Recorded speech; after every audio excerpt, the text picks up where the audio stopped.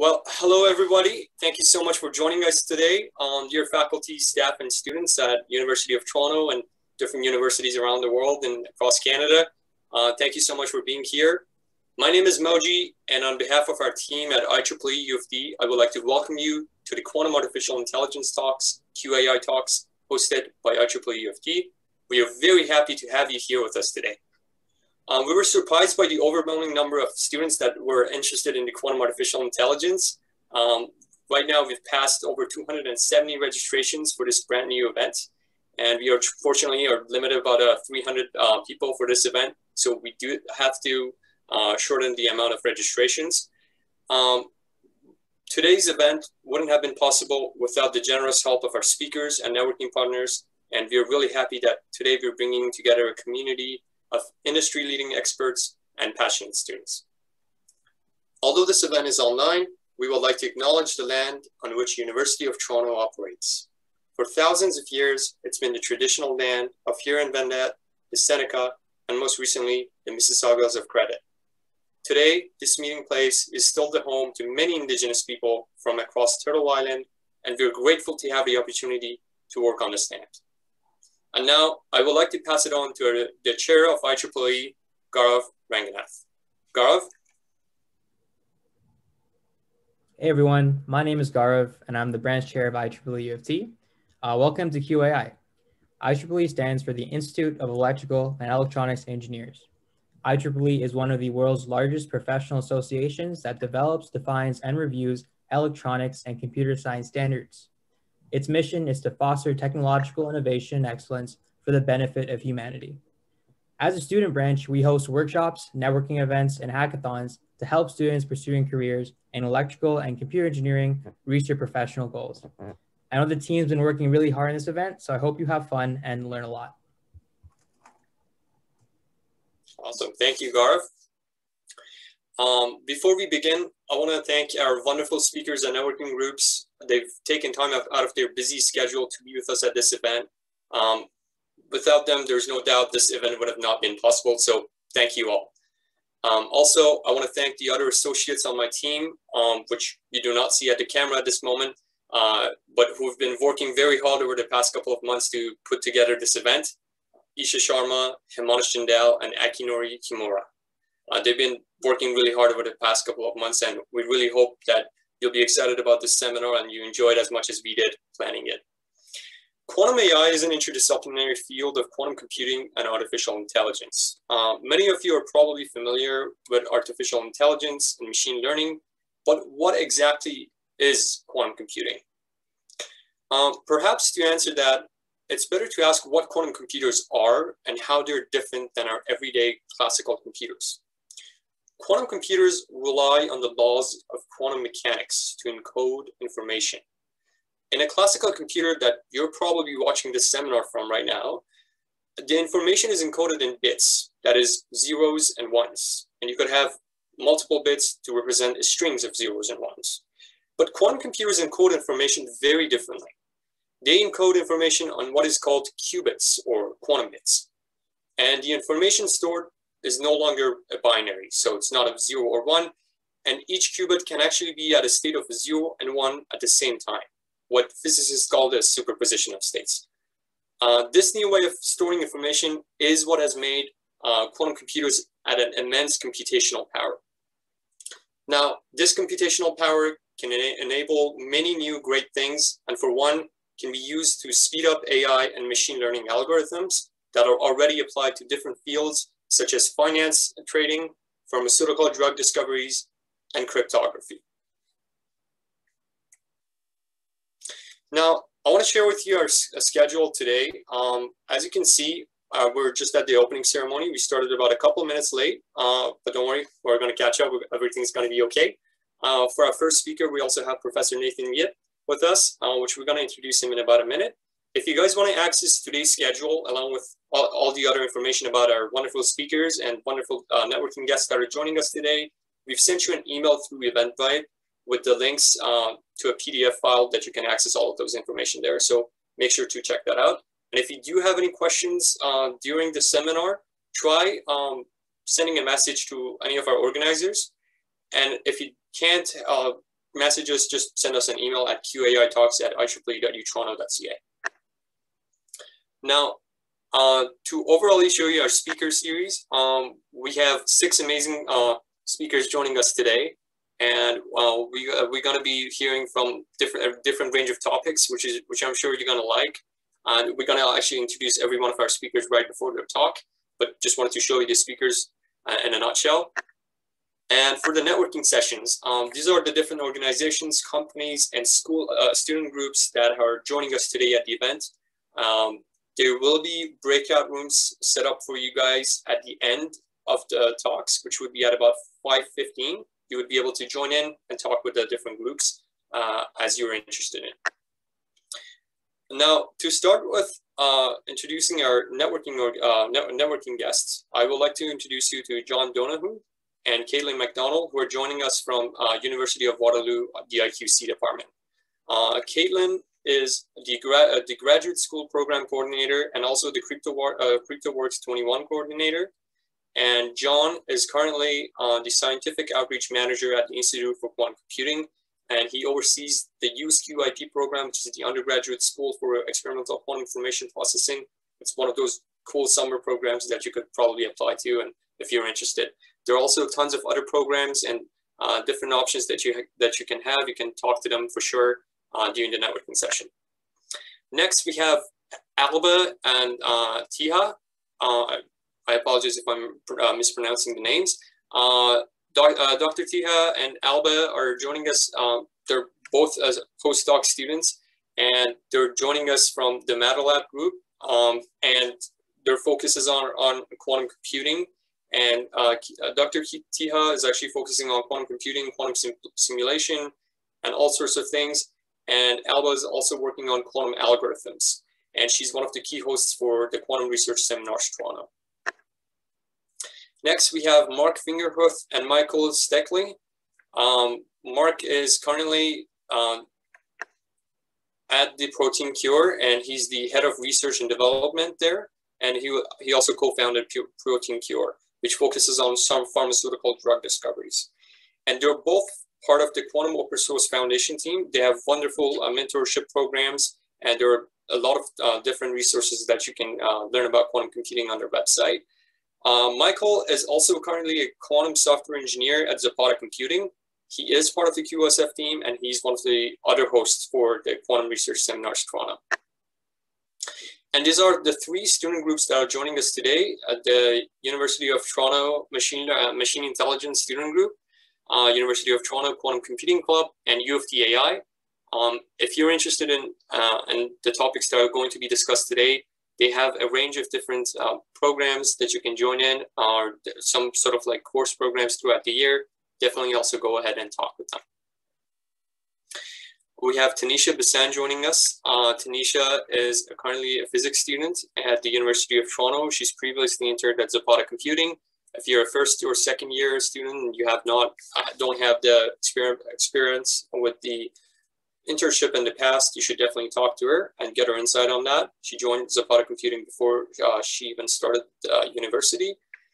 And we also have Spencer Churchill here with us today. He's an Qiskit advocate and a junior student, uh, junior studying computer science.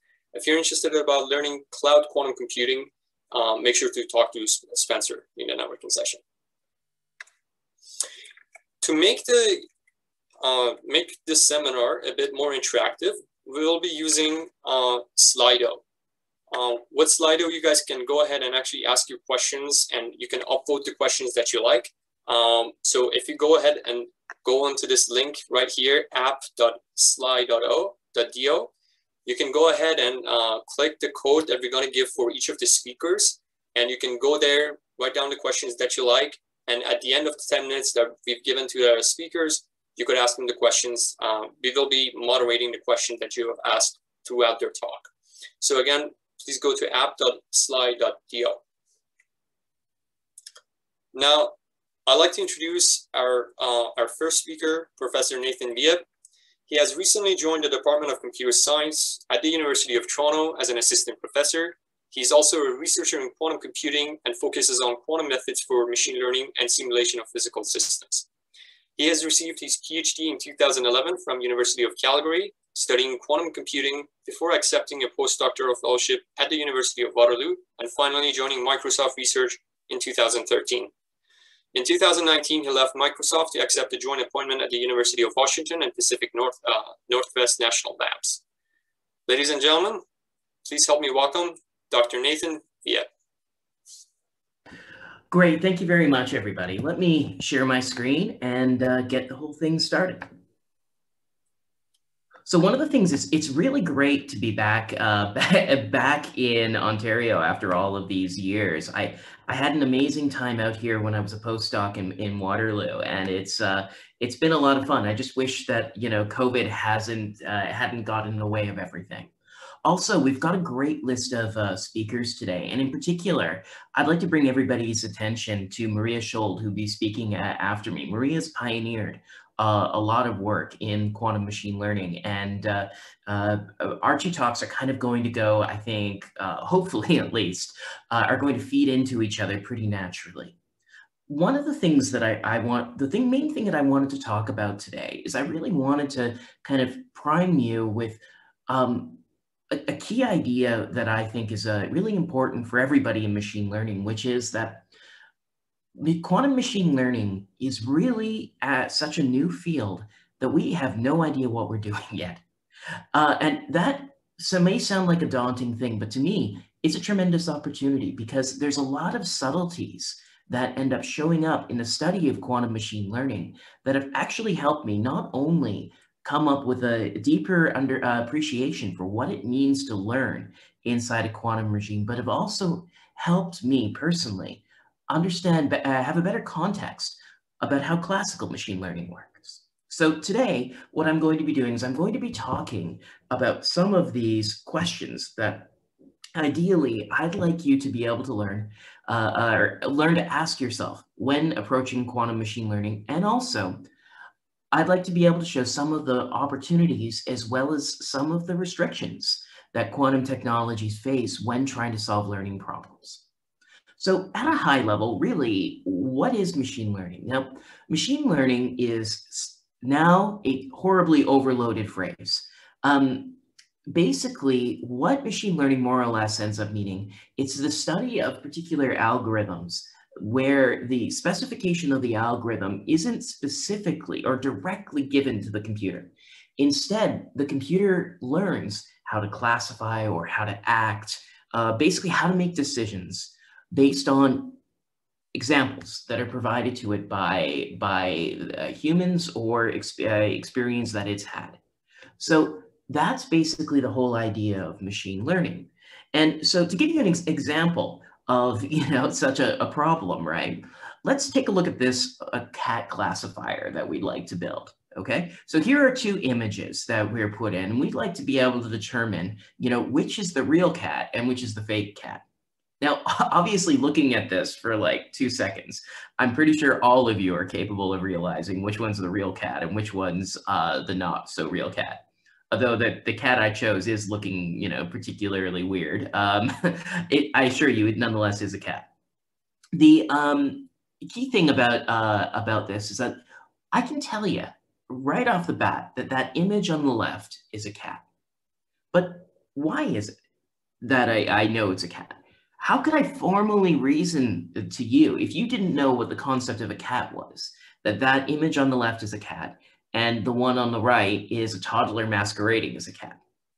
Well, in part, this is this uh, indicates that to some extent, humans, when we when we make decisions about the things we see in the, our everyday life, we have a lot of features that are similar to machine learned models. We often don't have explicit rules that we set up in order to be able to uh, allow us to convey how we make a decision about catness in this particular case. Um, but the thing is, is that uh, despite that, we can be highly proficient at this.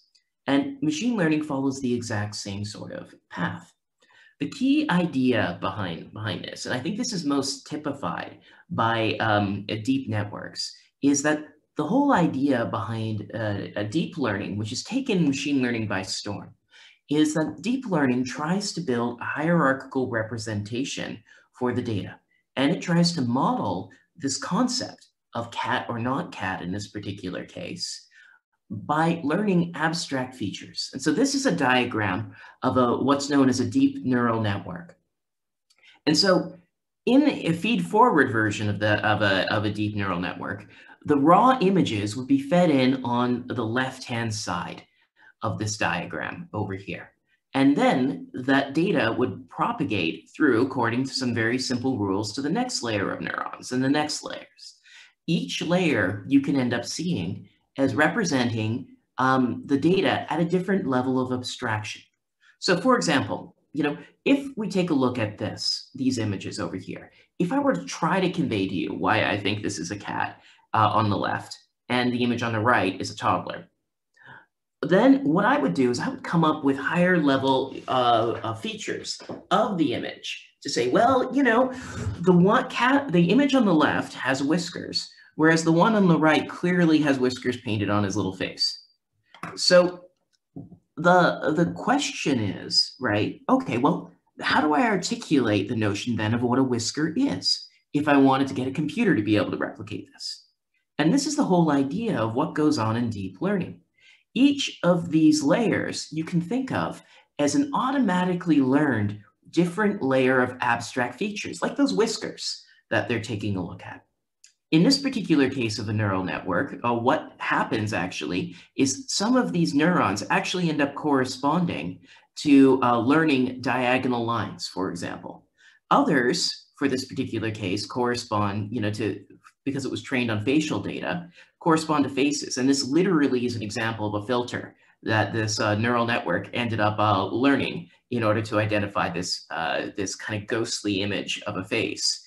Um, and this one over here uh, was actually similarly a, a tabby looking cat node.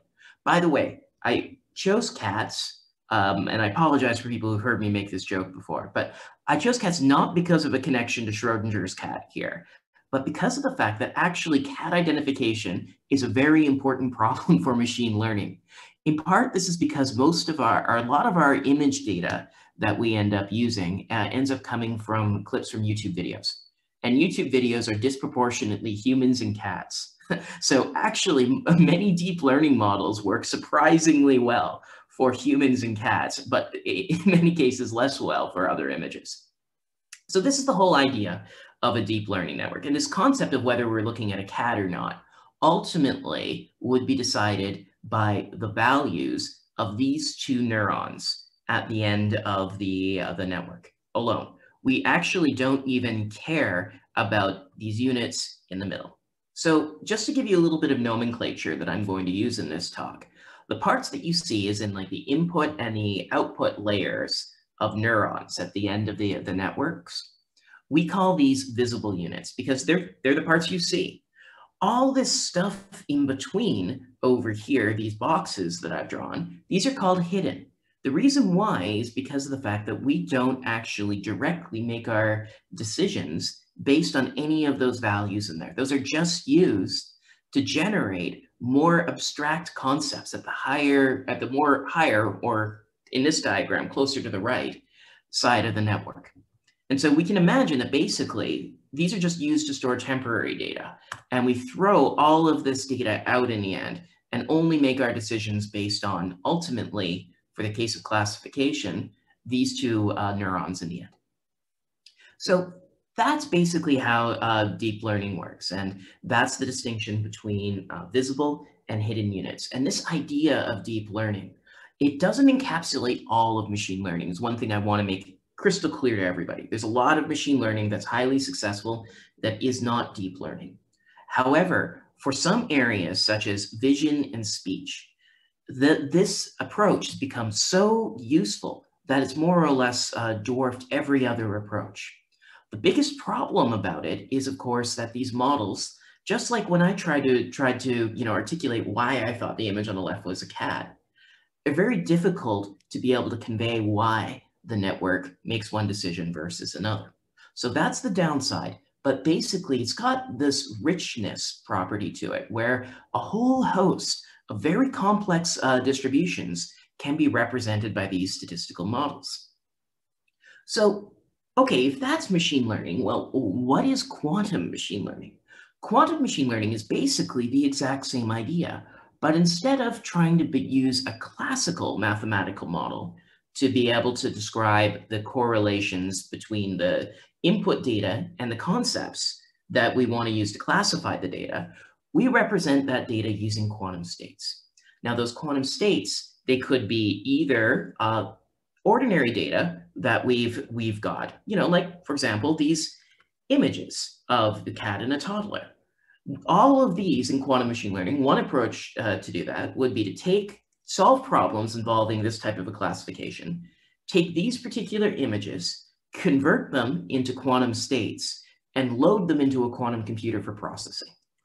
Okay, and there's various advantages that we can end up getting through the use of ideas in, from um, uh, either quantum simulation or ideas from amplitude amplification and many other approaches. But the um, also, these sorts of approaches can be used in order to be able to actually try to tackle raw quantum data that's coming in. So the reason, what probably the biggest reason why I'm fascinated about quantum machine learning is it gives us a way of quantifying or thinking about what learning ends up looking like in a quantum environment. And so the main aspirations behind this, uh, behind this field, are first of all to show computational speedups in many cases, it, it, it, it is quite costly to build and train a highly accurate model that will end up uh, describing a data set and at the same time allow it to generalize. Because if we're building a model to detect, you know, a cat versus uh, not cat in this case, and it works with 100% accuracy on the images that it's seen and never works on anything else, then that's not a very useful model. So in machine learning, what we always want to do is we want to be able to train our models to work very well in the data they've seen, but we also want to make sure that it generalizes beyond that. In some sense, we want to make sure that it's capable of learning the central concept behind the data that we've put into it. And so to this end, one of the main goals is actually to use the fact that with quantum computers, you have all of these non-local correlations that can uh, occur, such as entanglement, which potentially can give us ways uh, or can give the quantum computer ways of representing correlations between data uh, more effectively than you would get otherwise. And also, it can fundamentally lead to new ways of approaching and thinking about learning. And it's, of course, that latter uh, question, that's the, the one that really fascinates me the most, I would say.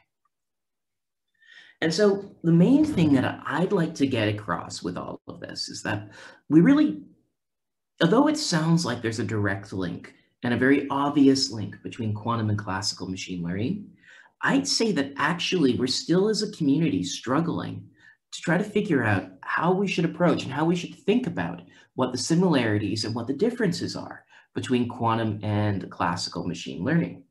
And a number of the particular issues that come up when approaching this particular field that people need to think about are, importantly, what's the classical analog of a QML algorithm? And this is really important because of the fact that uh, in, in practice, machine learning is an empirical field. What we have to do is we have to be able to compare our method up against the best methods that are out there. But in order to do that properly, we have to make sure that that fight is fair. So we have to make sure that our data, we're providing our data in an appropriate way to both the classical and the quantum models that don't accidentally end up favoring the quantum or favoring the classical by giving the, the data in a form that's more easily accessible to one or the other. So we have to understand what we're doing when we're benchmarking them. The other thing that we need to do is we really need to consider all of the types of complexity for this. One of the big challenges that ends up happening with whenever you do anything on a quantum computer is measuring the quantum state ends up disturbing it. And so this means that every time we try to draw a sample from this or, or put, prepare our data in, we don't get an outcome necessarily with 100% probability. We get it with some fixed probability. And so in order to be able to make a judgment with high certainty to it, we often will need to repeat these quantum machine learning algorithms many, many times. Whereas often, at least what people often consider the classical analogs of these methods, we would only have to apply the algorithm once. And so this makes the question of figuring out how many operations are actually needed in order to solve the problem a lot more difficult and forces us to spend more time thinking about complexity. But this also opens up, because this is such a new field, questions about what the fundamental limitations are to uh, quantum learning. In particular, there are some con uh, concepts which might be learnable, but could take a prohibitive amount of resources to learn.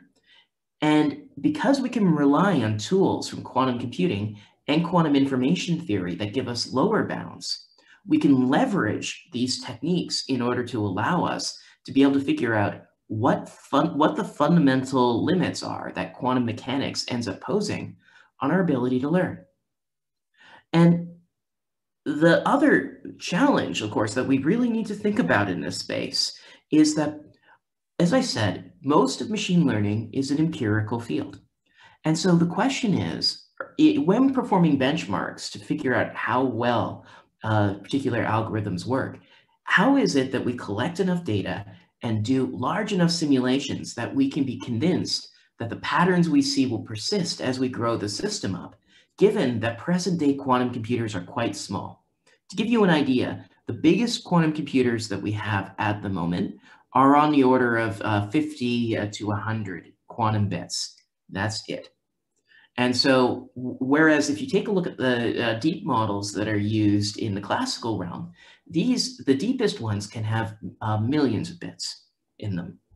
And so this means that the scale of problems that we can tackle with quantum machine learning at the moment is really limited.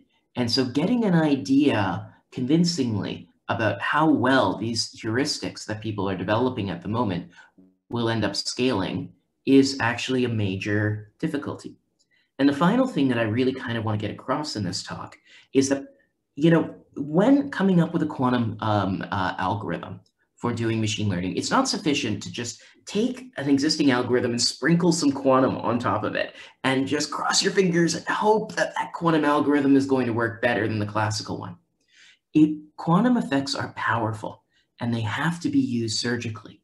And here we're going to, I'm going to show some examples of what can go wrong if you don't use quantum effects surgically when trying to do quantum machine learning. Okay, so first thing I'd like to do is I'd like to talk about how to, how to think about the input in uh, quantum machine learning algorithms. So the fundamental input that we end up thinking about is uh, typically, we phrase it in terms of vectors. So an idea uh, uh about this is let's envision we want to separate uh, two concept classes, the concept class of, you know, shown by blue dots and the concept class of orange dots down at the bottom. I've shown our data in such a way so that it's separable, so that it's possible to come up with a model which will unambiguously determine whether a dot is blue or a dot is orange. In the left-hand case, it's really easy. All you have to do is just take a look at this line that I've drawn here, that we, uh, is drawn here, and determine whether or not the dots are above or below the line. And from that, you can unambiguously determine, even if you didn't get to see the color of a dot, whether it should be classified as an orange or a blue dot. Now, with other, other uh, uh, types of data, they, they could be separable, but the separating uh, a line between them may not be straight. It could be curved. And this is what we call a, a nonlinear decision boundary. Now, in order to get some uh, deeper understanding or some deeper uh, vision about this, the input vectors that we use to train our models often end up uh, coming in the form of what we call supervised data. So in this particular case, what happens is we have a vector, which in this case would correspond to say the position of these individual dots, and a label, which would correspond to the color.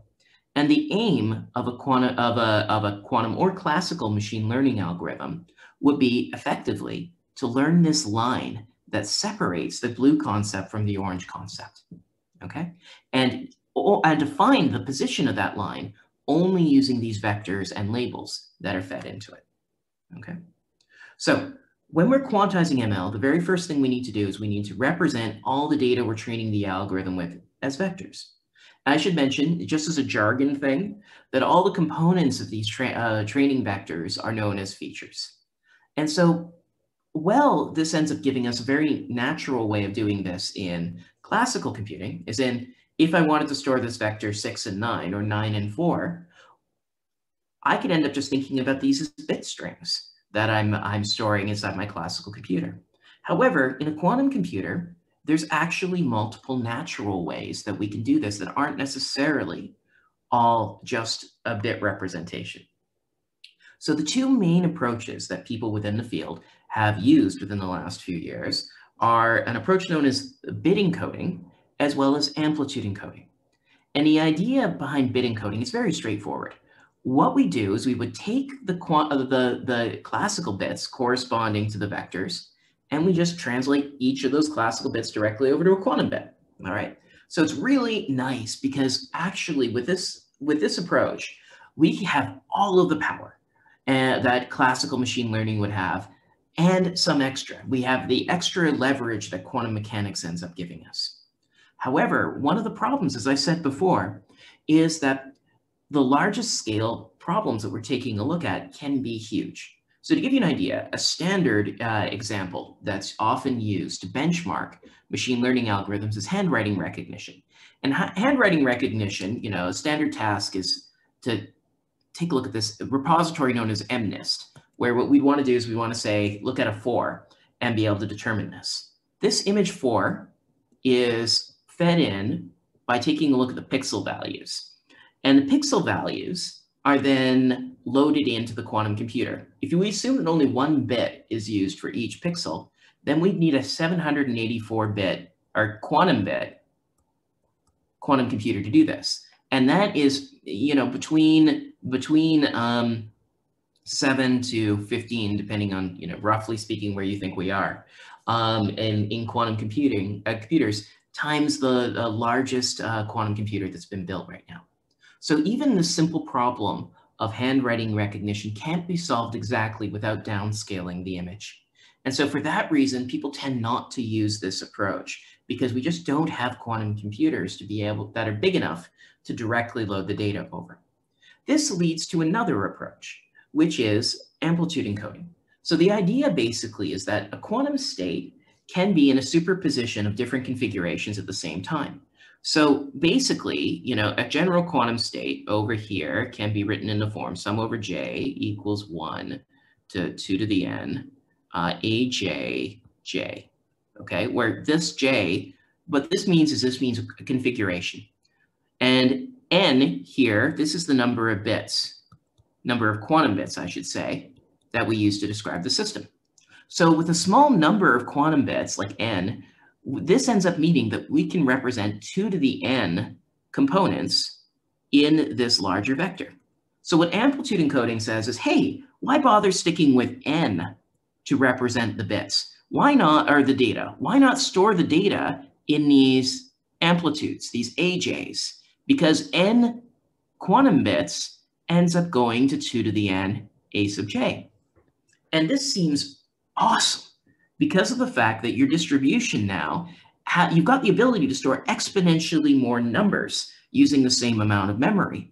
However, you know, despite that incredible compression, it is actually um, much more difficult to manipulate this type of quantum information. It's much more difficult to encode it. And the comparison between quantum machine learning uh, algorithms that use this encoding and the cl their classical brethren is actually much more subtle. And so to give you an idea about how one of these encodings would work, let's say what I do is I take a look at this guy right up here, okay? And I that I just eyeballing that, I said that that, that vector is roughly at position two and four, okay? So I've taken the binary encoding of these particular values down here. This is two and four in binary. Um, so the if we wanted to represent this on a quantum computer using a bit encoding, we actually would just get the binary versions of two and four, which are here and here respectively, and load them into a quantum state. Okay, so now our qubits are in the exact same uh, states corresponding to the bits in the original one. All right, it's that simple. Now, with an amplitude encoding, the simplest naive way that we could do this would be to take those coordinates, two and four, and, you, and load them in as quantum amplitudes over here. Now, a quantum state vector has a really curious property. If I have a quantum state that's in a mixture of zero and one at the same time, then what has to happen is that the, or what these amplitudes correspond to is each of these is like the square root of the probability of zero. And this one's like the square root of the probability of one. Okay, so what that means is that means that because the probability has to add up to one, this thing's norm has to be equal to one. So therefore, quantum state vectors are always unit vectors just because of the fact that the probability has to add up to one. So what happens with an amplitude encoding is we would take this vector 2, 4, and if we wanted to represent it directly on a quantum computer, we would represent that as a unit vector that's proportional to it. So let me show you what this would end up looking like. So in this particular case, what I've done is I've drawn a arc of the unit circle up here, and I'm taking a look at these two in, uh, instances in particular, right? Going to an amplitude encoding basically converts each of these directly to a unit vector. So this conversion to a unit vector would cause each of them to be mapped to here and there accordingly. Okay, so it looks like it's basically about the same, but one of the things that you'll note is that this decision boundary over here isn't a ray that's started, it can't be viewed as a ray that's starting out from the origin going out here. So this boundary, when we try to translate it back to the unit circle, no longer actually becomes a nice radial separation between the two classes. And in particular, what ends up happening is that when we end up doing this, we end up finding that actually for these vectors that are kind of brought back to the unit circle over here, the inner products aren't maintained and the data isn't necessarily separable anymore. So and what I mean by separable here is that by a computer can unambiguously determine whether or not the data is in the red class or the green class by determining if it's uh, on which side of this line it's at. And when we compress everything down to unit vectors, we lose some of that information. And so this actually, there's some nerdy ways that we can, we can deal with this. It turns out that we can address this issue of the length of the vector um, by building it in a higher dimensional space, by padding the vector with a logarithmically large number of zero vectors. So I won't go into too much detail. There's a subtlety about it because it actually turns out that the transpose conjugate of each vector has to be encoded differently using this approach. But the moral of the story is, is that you can, you can do something that is uh, a lot less crude than this approach. We can choose these vectors to be in a higher dimension such that if there's an exact mapping, it loses no information between the vectors and the quantum states that represent it. So that's the key idea um, behind, behind this. Um, I should also mention that, interestingly enough, the classical analog of, of an amplitude encoded vector is not the bit vector, curiously enough. Instead, what we can, uh, and you can see this because of the fact that, let's say what I did is I gave you this vector or copies of this vector coming in. And what we'd like to be able to do is we'd like to be able to um, regenerate the data that it came from. So for example, let's say that I had, you know, an image that looked like four. I turn this into a quantum state. And this quantum state psi, if I measure the quantum state psi, what will happen with that measurement is I'll end up getting actually just a single pixel ID.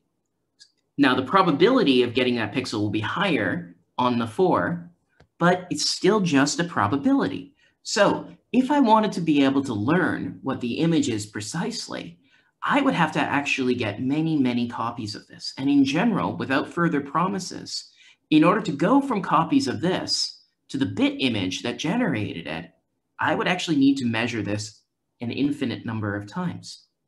So what this ends up meaning is that actually, in some senses, this amplitude encoded representation of four, for example, is actually less powerful than the classical bit encoded version.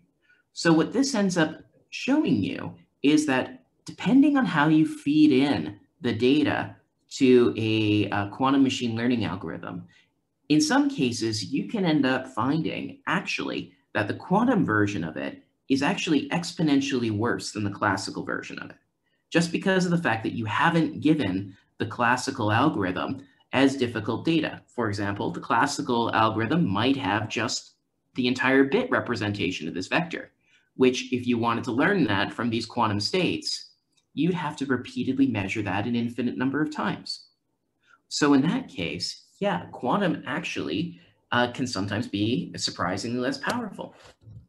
But the other thing that I wanted to mention is that there's also some surprising theoretical limitations to what we can do um, from for amplitude encoding. So let me show you an example where we can prove actually that um, uh, amplitude encoding, uh, encoded versions of this will require actually an exponentially large number of measurements in order to be able to distinguish between two concept classes that could easily be distinguished using an ordinary computer.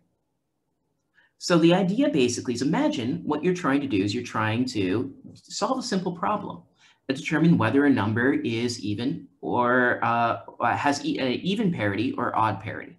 So in particular, what I mean is I mean by, by that, does it have an even number of zeros or does it have a, uh, an even number of ones or an odd number of ones in it? And so the basic way that we, we um, um, could, could do this is, you know, we can obviously just build a classical circuit that goes through and, you know, computes the parity and makes a decision based on that. So there's an efficient way of deciding whether a string is even or odd. But let's take a look at deciding that from based on the, the data being fed in through an amplitude encoding. So here's an example of, of this. Let's say what I did is I wanted to feed in the uh, integer 101101. If I used an amplitude encoding, basically you can end up viewing that as a uniform quantum superposition over every location where the input bit string is one. So everywhere where there's a, a bit string one, we have the corresponding configuration on the quantum side active with equal probability. Now let's consider flipping one of the bits over here. Um, and I, I'll say, uh, let's flip this one. So now Whereas the top one was skipping five, the bottom one over here isn't. And so now the question is, what's the difference between these two vectors? Well, in this particular case, the different, the inner product between them, which kind of measures the degree of similarity between these two vectors, ends up uh, be, going, being like two thirds, which isn't all that bad, really, everything considered. But the problem is it ends up getting worse as you start going to higher dimensions. And this inner product ends up shrinking basically exponentially with the number of bits that you end up taking a look at. And this is really important because what it says is it says that if we've got two quantum states, one is uh, the odd concept, uh, like this, uh, oh, uh, for example, uh, this one down here, is odd. And this example up here is an even bit string. The gap between these two for high dimensional spaces is going to scale like 2 to the minus n. It turns out the number of samples that we need in order to be able to distinguish between two quantum states ends up scaling like the distance between the two, uh, the two vectors in question. So what that ends up meaning is that Basically, although the classical approach could have, in a single try, told the difference between an even and odd parity string, in this case, we're going to need to measure, even with the best measurement possible, an exponential number of times before we can decide with high probability whether the string is odd or even. So this shows that, yeah, even though this is quantum, in some ways, unless we're careful about it, our quantum approach to this may require exponentially many measurements in order to be able to just get out the answer. And so this is an indication that we need to think very carefully about how we approach quantum machine learning and how we represent our data in this. So I'm, Professor V, I'm sorry to interrupt. I just wanted to um, point out the time, and uh, there are also Yeah. uh, three, four questions. Let me- let me kind of speed up then a little Okay. bit. The next thing that I wanted to uh, kind of uh, get at over here is, okay, well, what about training these uh, uh, these systems? So this is an example of a uh, unitary quantum neural network, coincidentally, actually from a paper that Marie and I had together many, many moons ago. Um, but in any case, one of the things that we end up finding actually from studying these quantum neural networks is that generically, the gradients that we end up seeing for the parameters of the neural network is in like if we try to train it in order to be able to find the best mo uh, model for the data, those gradients are exponentially small, meaning that they'll typically need exponentially many training steps to be able to actually learn a good model for the data. And so this has been known for a while, and there's been some proposals to get around it. But my collaborators and I have actually noticed something kind of neat, which is that entanglement itself actually in uh, deep quantum deep networks can pose a critical danger to the power of quantum neural networks. In particular, if we have uh, a strong entanglement between the visible and hidden units in, the, in a layer, uh, in a quantum uh, neural network, what that ends up meaning is that there's strong quantum correlations. And in fact, if a state is maximally entangled between the two, what that ends up meaning is that the quantum, the information that describes the system can't be localized either in the visible part of the network or the hidden part of the network. So if we try to throw away the hidden part of the network, which is what we would normally do with machine, uh, with deep learning, then actually throw away with high probability almost all of the data that we wanted to, that we needed in order to make our classification. And so this actually ends up uh, showing that entanglement can be a hindrance. And we prove that with a volume law, if you've got a volume law scaling, which is typical for complex quantum states in high dimensional spaces, that actually this is, this is typical. And entanglement generically actually will end up killing your ability to classify. Now, the question is, well, how can you, how can we get around this? How can we get, you know, kind of unlost in Hilbert space?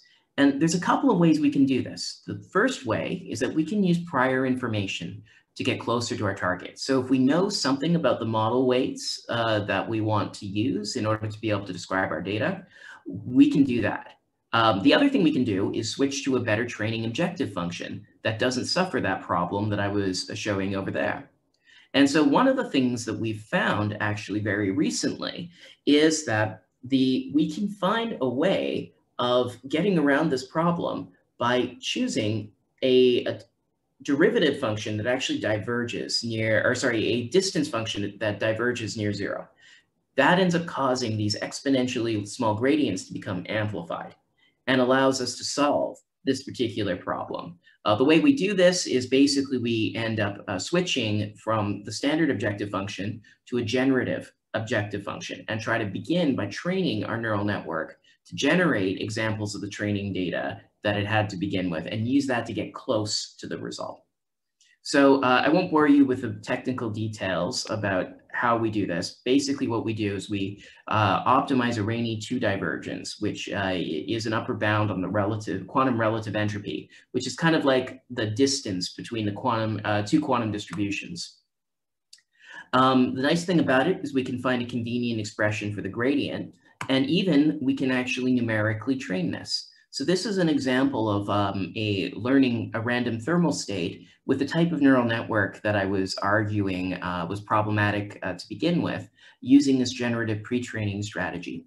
And it gets around all the pro any, all problems that we've noticed about these vanishing gradients just because of the fact that it uses um, this generative pre-training step to kind of help it get closer to the answer to begin with.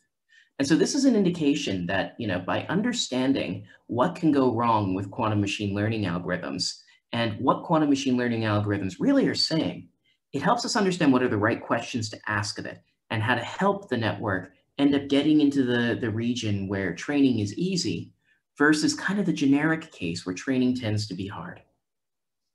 So to conclude, when approaching quantum, quantum machine learning is, is a really fascinating field that offers to, to give a poten, uh, potential advantages for a host of uh, problems of deep societal importance at the moment. but it's still a very new field, and we need to think very carefully about what the correspondence between classical and quantum machine learning actually is. Um, amplitude encodings can allow us to do, deal with this in the short term, but they have to be well designed. And in particular, uh, entanglement, also as I showed before, can't just be used as a universal resource for things. If it isn't used surgically, in the case of quantum neural networks, it can actually utterly destroy the ability of the network uh, to predict.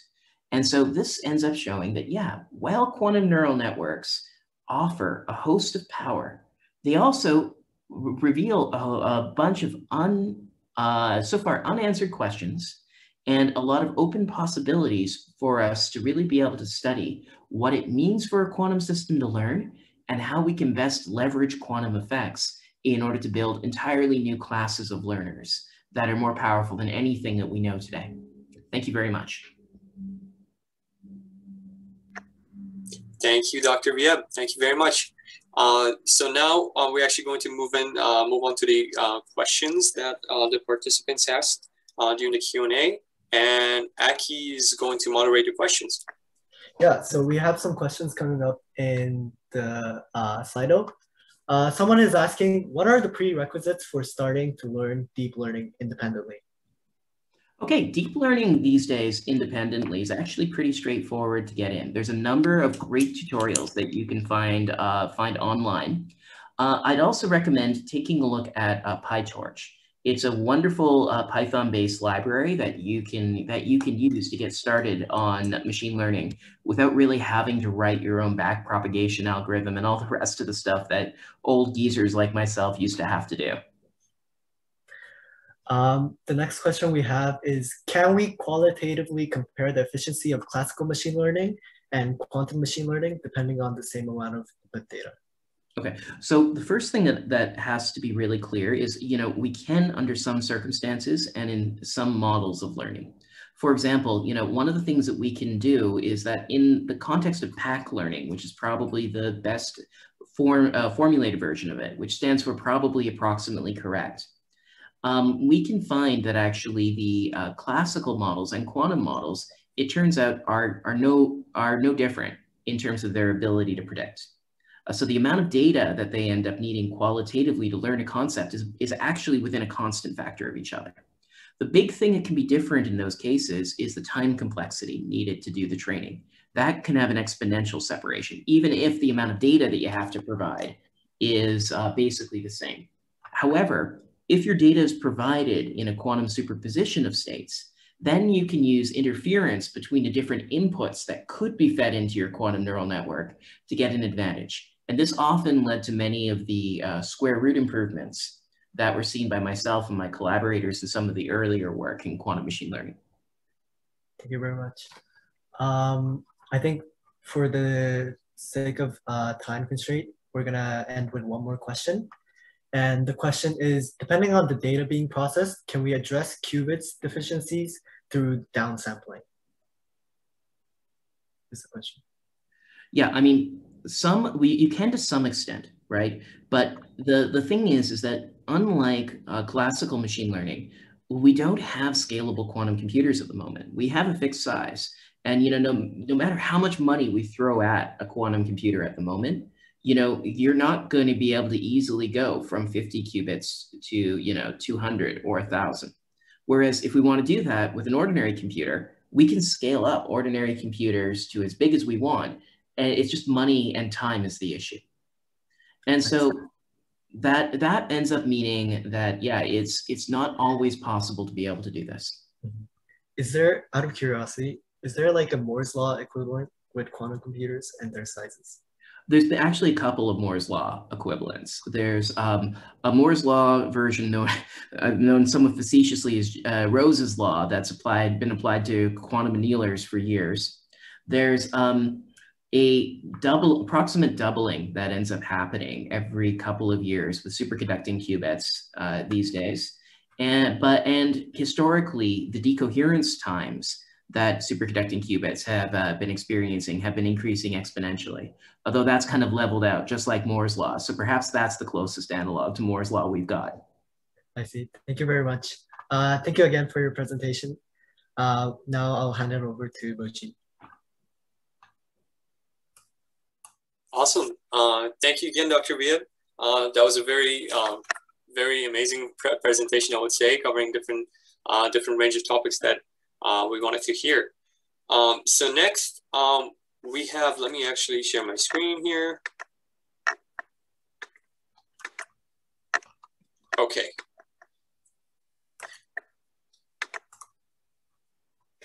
So for our next next speakers, uh, we have uh, Dr. Maria Schuld. Uh, Maria is a quantum machine learning researcher pursuing right now her uh, postdoctoral study at the University of KwaZulu-Natal. Um, I hope the pronunciation is right. Um, she's also a researcher at Xanadu Quantum, uh, Quantum Technologies, a company that creates silicon quantum photonic chips that uh, power quantum computers and also develops open source tools for quantum computing, such as the PennyLane. Um, her research is focused on how quantum information processing can improve and extend methods in machine learning. Uh, we have the Slido link here. Um, before um, before we invite Maria up to the stage, we'll just give, uh, give you guys a, a second if you want to scan the QR code with your phone so that you could go ahead and ask your questions.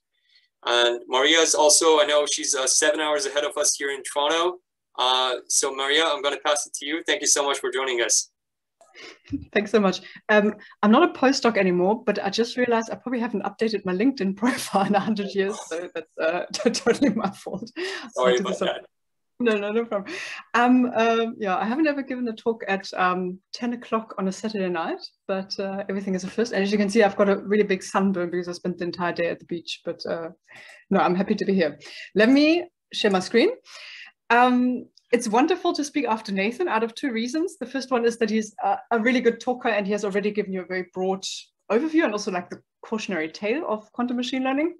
And I'll now open another box, basically. I'll look into this box of, we were talking about comparison of things and uh, Nathan has shown there's like different things that you could want to do with quantum computing. And that is, for example, speeding up classical algorithms. But there's a whole nother branch, and it's a very dominant branch at the moment in quantum machine learning, where you use a quantum computation as a generically new model. And you see what happens if we do that. So this is the box I'll open a bit more.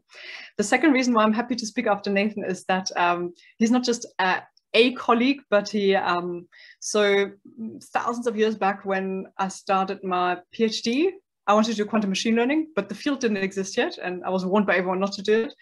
And Nathan was actually one of the few. There were probably two or three researchers all over the world who were interested in this. And um, he was one of the first people I actually spoke to. I think I sent an email back then. So like, it's always a very special pleasure. Um, okay, cool. Let's begin. Um, just to say, I want to just introduce you into a couple of concepts of machine learning because basically what I want to say in the talk is the following. If we replace neural networks or, or, machine learning models with quantum computations, we get something that we can train like a neural network, but that looks mathematics wise very much like a kernel method or support vector machine. Uh, and I just want to tell you what kind of the idea of neural network and support vector machine is so that I can compare them after that. And you also have a few slides on what actually the quantum computation itself looks like. I just basically want to get there where I can compare the maths and it will be all in pictures, don't worry. Oh, worry, I don't know which one's better. Okay, cool.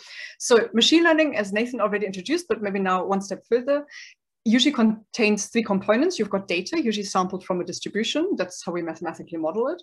You've got a model, or basically actually not a model, but a model family. Think of it as a hypothesis class or something, which could be a function class that depends on parameters. And the model in some sense um, uh, reproduces the type of data you get. So in this case, I have a supervised learning model where you put something in and you get something out. So like a classification task of the cats that Nathan was showing, but there are lots of other models that could generate data, so on and so forth. And thirdly, you've got a cost and the cost tells you how well is your model doing on an amount of data that you have. So in supervised learning, you compare the labels your model predicts to like the labels that you really had in a subset of training data. Task of machine learning, Nathan also like mentioned very nicely, is use some subset of data samples to construct or find a model that minimizes cost on unseen data. And here there's two big things in machine learning that are important. There's an optimization part. So that means optimize over the model class, optimize the cost over the model class given some data. But what you actually want to achieve is generalization. You don't want to like solve an optimization problem. You actually want to, um, in the end, have a good performance on unseen data. And to study this scientifically is one of the most fascinating ideas in science because you have a very weird problem here. You want to like optimize something actually on data you've never seen and how to quantify that, how to like practically implement that is like is like really nice. Um, okay, cool. And then there were like, I'll put them as three stages. So in, in textbooks, you sometimes see it as like the three big parts or three big stories of machine learning. The first one, everyone always starts with linear models. They're actually very useful still today to analyze things. And linear models is the same thing as regression. You guys know it from physics or from statistics. And the idea is your model, you assume your data is just a, a vector of numbers. And then your model consists of another vector of weights, and these are trainable parameters. And then you just take the inner product of the two. And if you look at the decision boundary, this was also Nathan plotted before as well. So basically, this is the place in your in your data space where the model would um, quantify would classify so you ask the model like is it green or blue? And you say like if the model's output value is larger than zero it's green otherwise it's blue. And that decision boundary is with zero where the model is undecided. And these decision boundaries for linear models are really stupid. They're just lines. And you can't do very very interesting machine learning with it although the models are beautiful for mathematical analysis. Um, but the nice thing about it you get a convex optimization problem if you never heard of convex optimization problems, it's just a really nice optimization problem, which has a single global minimum and, you know, it's nice to handle. It is though not absolutely trivial for big data sets. So the moment, so convex optimization, you have to think of matrix inversion techniques and matrix inversion scales, these algorithms scale in kind of the uh, quadratic size of the number of data points. So big data, if you've got billions of data points, um, these methods are actually not as nice as, you know, uh, I, I, was just uh, suggesting. Secondly, kernel methods, and these are the ones, so I'm totally obsessed with kernel methods at the moment because these are the ones that um, machine, quantum machine learning models look very similar to mathematically. Let me just explain what they are. Think of a linear model, but instead of staying in your original space, you actually map your data first to a very, very high dimensional space, so maybe an infinite dimensional space, and you immediately think of maybe Hilbert spaces. Um, and then you take this like um, weight vector, which might not be an infinite dimensional weight vector. So this model is something that's just mathematically constructed. This doesn't really exist. You can't train infinite weights, right? Um, but so just for the sake of the argument, what you get is in this really high dimensional space, a linear model, and everything is convex and nice in that high dimensional space. And the beauty of kernel methods is it's a huge mathematical apparatus. Most of you might know them from support vector machines where, sorry, this looks like a bit like a monster, but um, where basically you can do all your computations in the original space. And in this original data space, you get really interesting decision boundaries. They can be as flexible as you wish. They are as powerful as neural networks in terms of their expressivity. Um, and you still get a convex optimization problem and the models all depend, and this is important for one of the last slides, they all depend on inner products of data mapped to this high dimensional space. And this inner product is called a kernel, and you can understand it as a distance measure. So you measure distances in a very high dimensional space. In computations, you never measure these distance in a very high dimensional space. What you do, you have a, a proxy basically in the original data space. So some distance measure like a Gaussian distance or something between two data points, but mathematically they're mapped into really high dimensional uh, spaces. And then third one, there's deep learning deep learning, everyone always thinks there's it's just neural networks or deep neural networks, and that's absolutely not true. So the last couple of years of machine learning research have been extremely exciting and uh, new results every year, and everything is moving. All theories of like 100 years are totally shifting at the moment, and the reason is deep learning. What happens in deep learning, you've got very big data sets, and you've got um, a type of model that's called a neural network, which is basically just a linear model where you put the nonlinearity outside of the linear model, and then you start stacking these little building blocks. And so you get these like graphical notation for these neural networks. So each, each of these dots that Nathan showed is just like one of these stacked, stacked basis blocks, basic blocks. And so these models are highly trainable. So they're very, very efficiently trainable. That's actually the beauty of them. And they're very modular. They're very composable. That's the two things that make deep learning deep learning in some sense. And then thirdly, you've got, um, so you've got now a really hard optimization problem, actually non-convex optimization. Um, also a little comment here, um, non-convex optimization in general is a is an intractably hard problem. So like you can't guarantee that you find a solution in usually a non-convex optimization problem without like really serious assumptions. Um, but however, that doesn't stop neural networks from being really good at solving these problems. And this is a bit tricky for quantum computing, where we always think of, oh, can we speed up things? Here, we don't even have guarantees that the neural networks, like, you know, they do something really hard already. So it's very hard to actually argue with complexity theory in these settings of deep learning. Anyway, side note closed. Um, what's also very important about deep learning is basically hardware and software. So you know that deep learning is enabled by GPUs, by tensor processing units, by, by special purpose hardware, maybe one day by quantum computers, who knows. Um, and then we also have special purpose software that is designed to train these big models. And um, they're based on a principle called automatic differentiation. If someone has heard of backpropagation, that's the machine learning version of automatic differentiation. Anyways, and now very briefly about quantum computing. And I will also not go deep. I just want to give you a couple of pictures again, because afterwards want to join these pictures in some sense.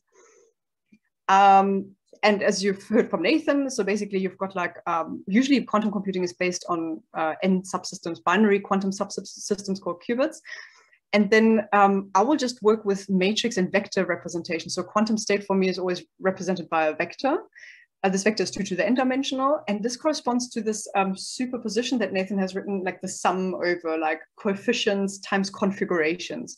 What you see here is just a vector of the coefficients, and the configurations is just a convention. We know that the first one corresponds to configuration 0, 0, 0, 0, and so on and so forth. And this law is again um, valid that the absolute square of this value is the probability of seeing this configuration in the qubits. And then quantum computing, we have, um, we consider basically physical operations on these systems um, as a circuit on algorithm. And usually this is written, drawn in this way.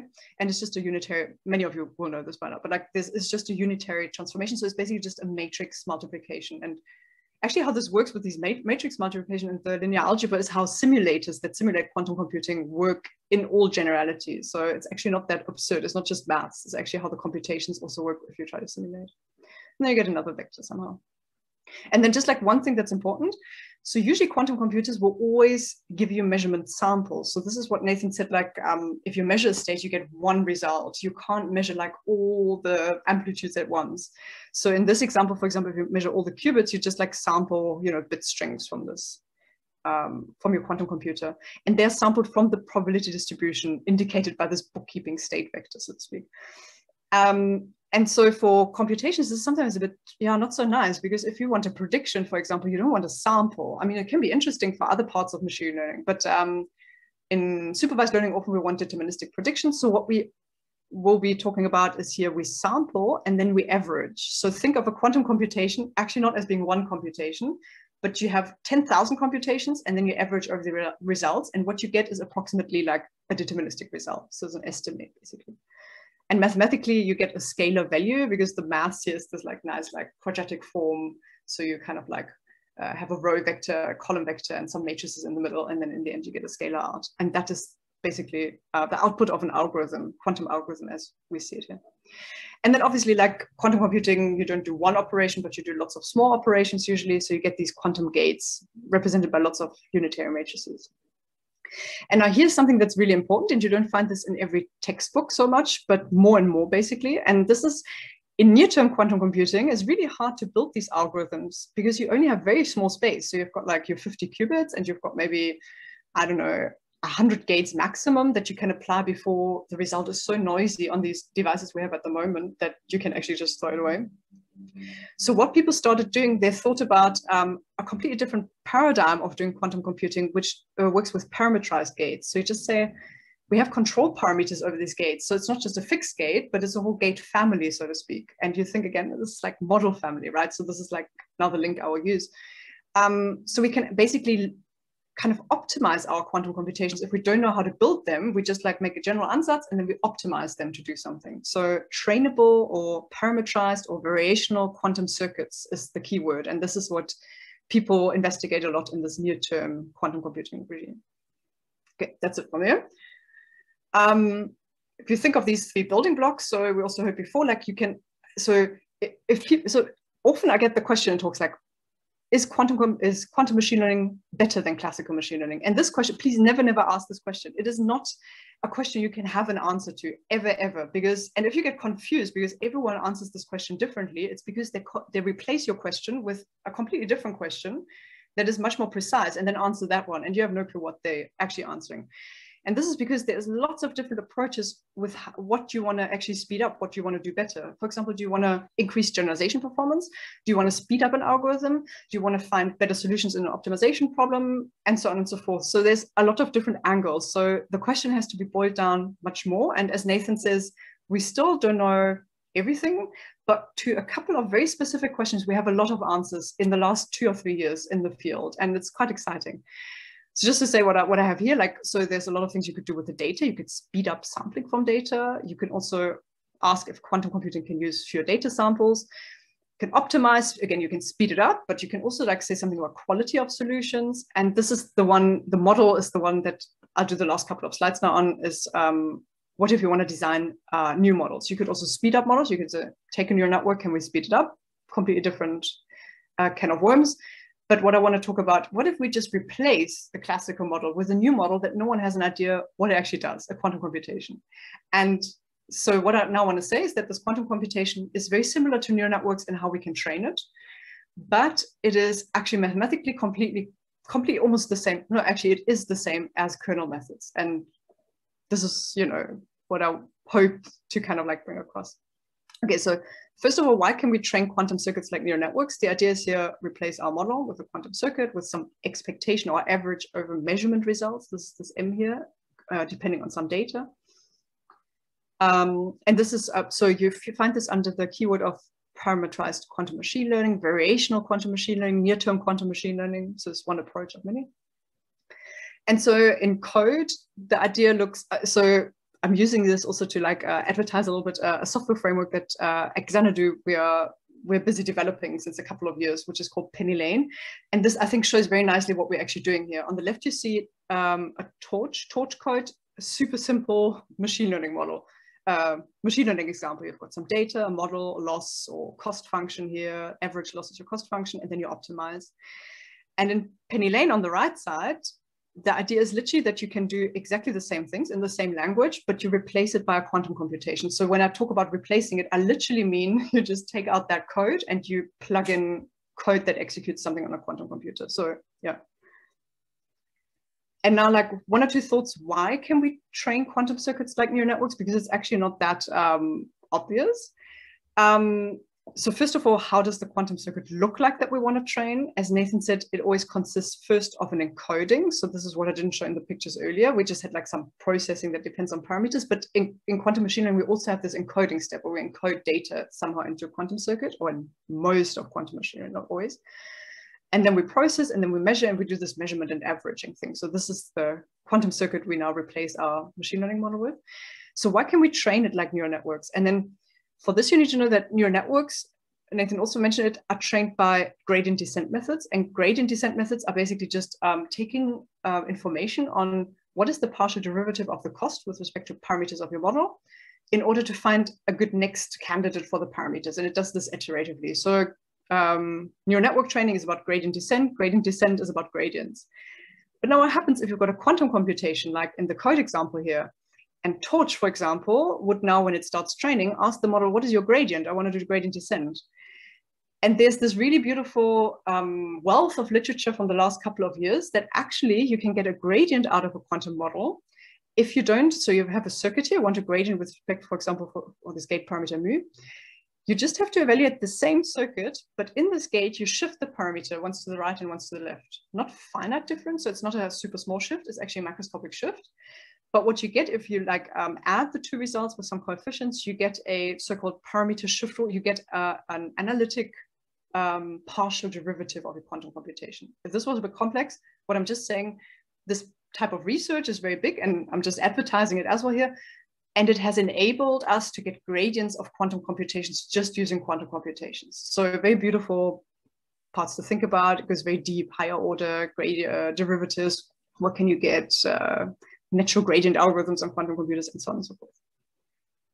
And now the second point, and that is that quantum uh, models are kernel methods. And for many years, I always had a slide where I said like quantum models are somehow like kernel methods or similar to kernel methods. And uh, I sat on December and uh, wanted to like solidify that and just like write down, okay, lots of people are starting to like notice this as well, what's actually happening here.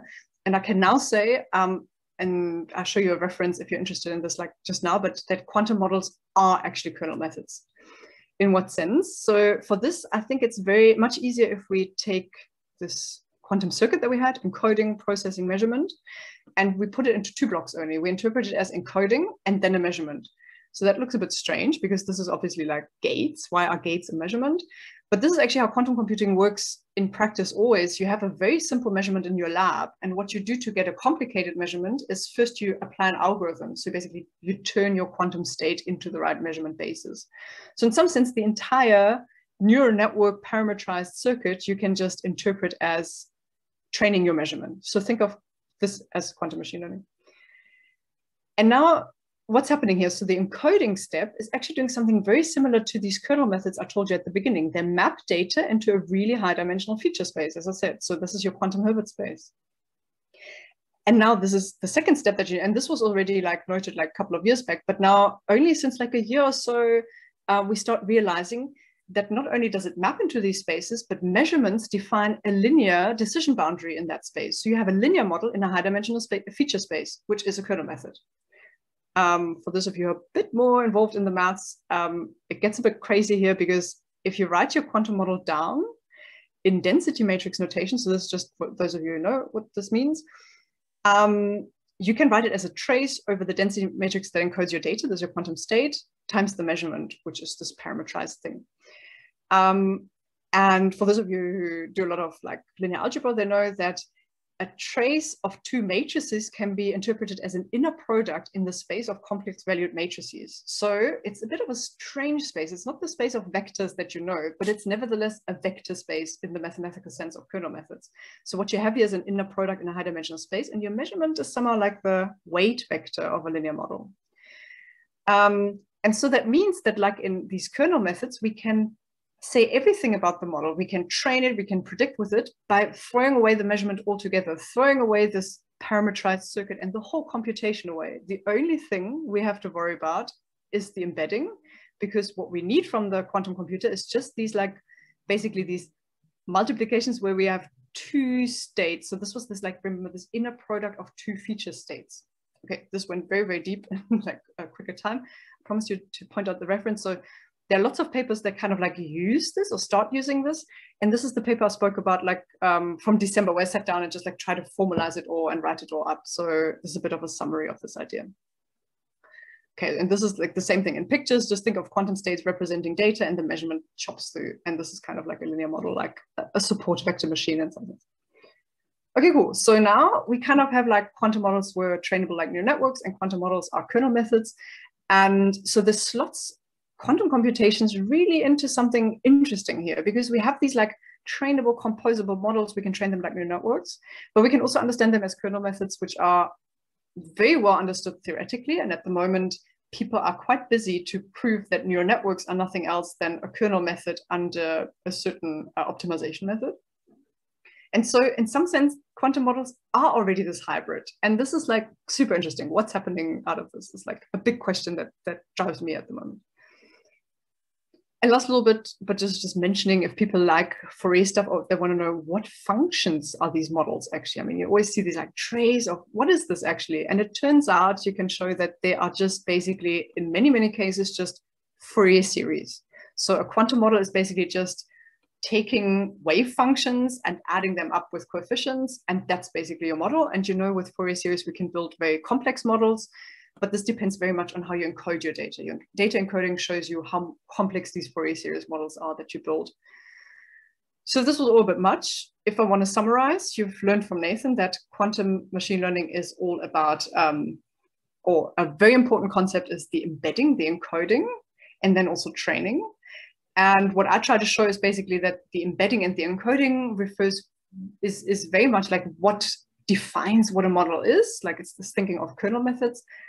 And then, um, but in training, we can also use like neural networks types approaches, and we're kind of somewhere in, in between.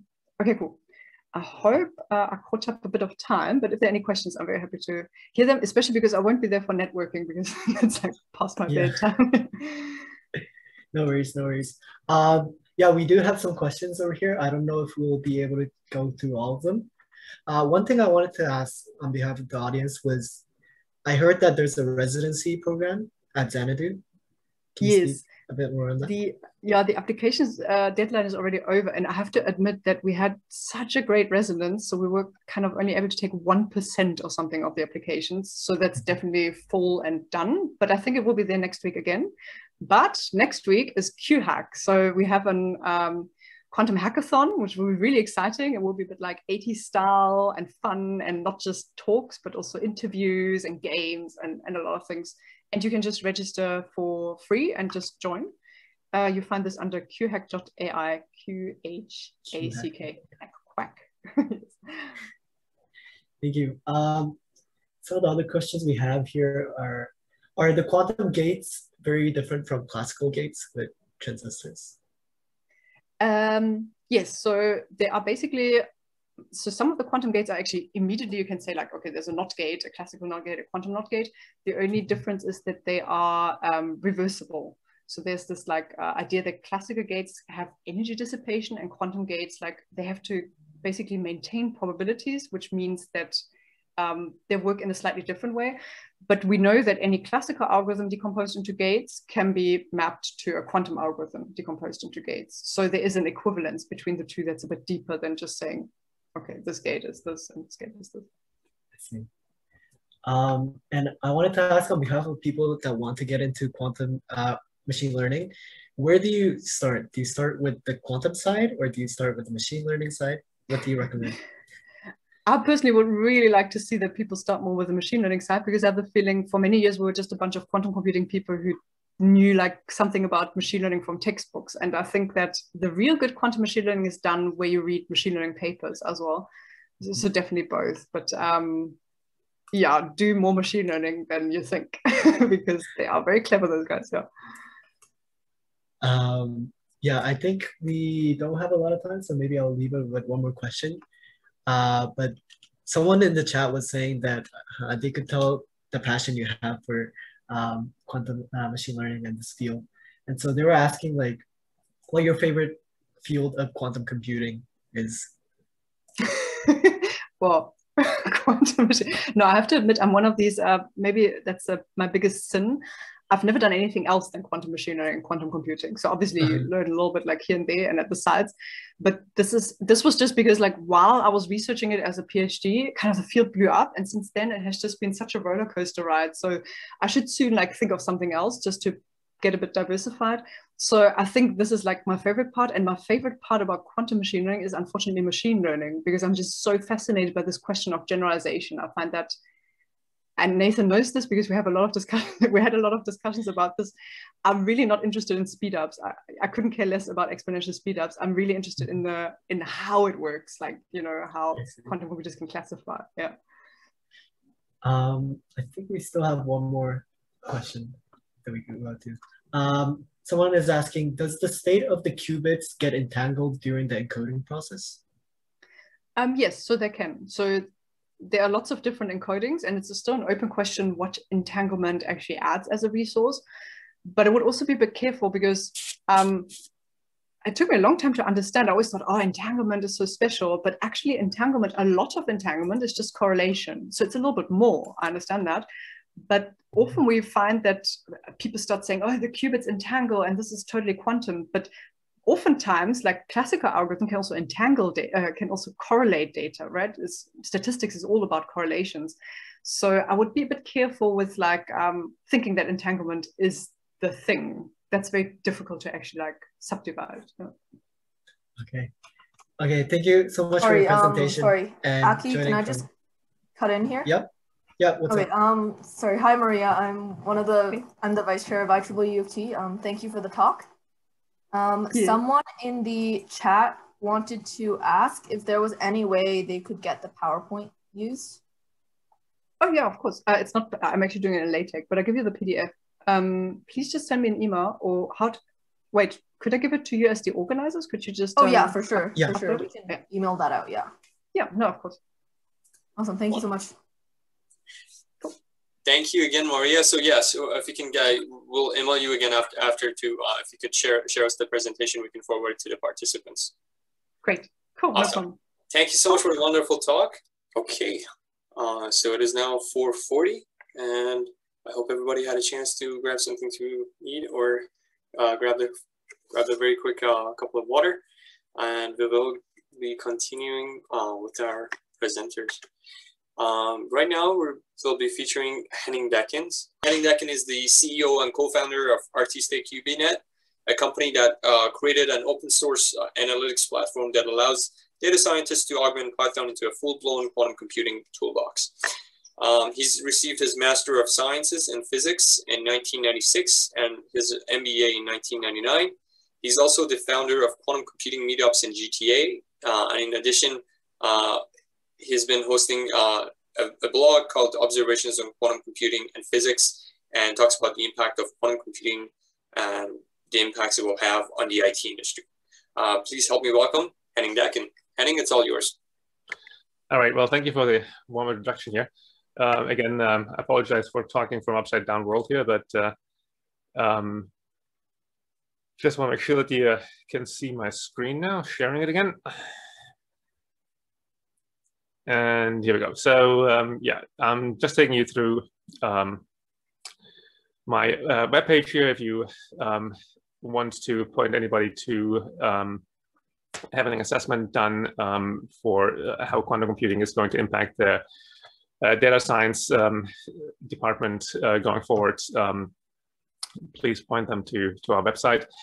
Our open source um, compute stack uh, is on, on uh, GitHub.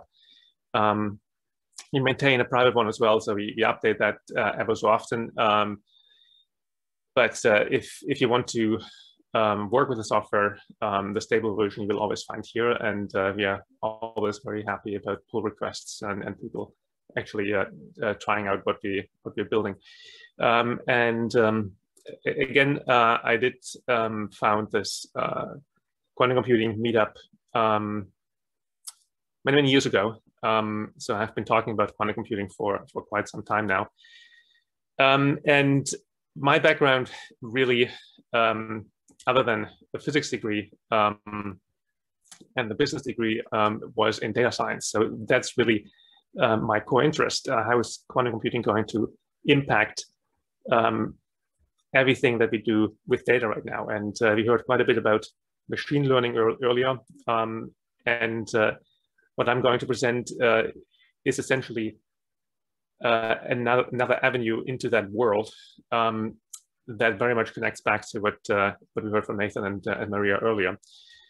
Um, but since it is the afternoon um, and it was a long uh, couple of hours of, of pretty um, heavy material that we, we went through, um, I always like to start off a little bit, um, yeah, with a with a kind of a mix that's hopefully a little bit entertaining. Um, and I usually do that, obviously, when there's a, a meetup uh, in person, I, I, like to ask people to, to participate and to, to raise their arms, which we can't really do here, but we do have the chat function. Um, so uh, let's try to wake everybody up a little bit by, by uh, asking you a question um, for a change and instead of always you getting to ask the questions.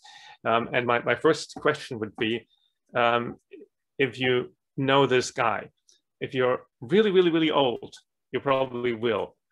Um, and if you can read my screen, you probably it's kind of a giveaway, but um, it, it's uh, it, it's somebody who's actually um, known for a logic puzzle, uh, and uh, he's probably the only entertainer um, to be to be known in, in, in the history of, of philosophy and, and paradoxes.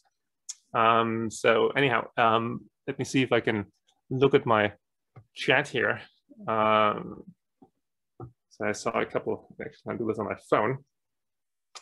Yep, here we go. So already got somebody uh, identifying this as a Monty Hall problem. Um, so, but whenever I, am in a, uh, in a room like this, in a meetup room, it depends on, on the, the kind of audience we have. But uh, typically there are a couple of people who have not yet really heard about the Monty Hall problem, although it's almost as favorite um, or as, as uh, famous as uh, Schrodinger's cat these days. Um, but uh, for those who haven't heard of it, um, here's a footage from the original show that made it famous, beautiful uh, 60s and 70s decor. Actually, let me switch over to uh, full screen here and make this maybe a little bit bigger. Um, so the, the crux of the problem is that uh, Monty has this wonderful uh, game show, um, and uh, people in the end have the opportunity to get a really, really grand prize. But the grand prize is just behind one of those doors. Um, and the participant who made it through the entire show now has to choose what door. Um, and two of the doors are that's two of the doors are going to be completely nothing. And the other one could be a car, uh, it could be a huge amount of cash. Uh, typically, um, yeah, some companies were sponsoring it. So uh, some really cool gear that people would be getting behind one of those doors. Um, so pretty straightforward problem. Um, if you don't have any information and you just make one choice, it's a one third chance that you're gonna get it right. Um, so you make your choice.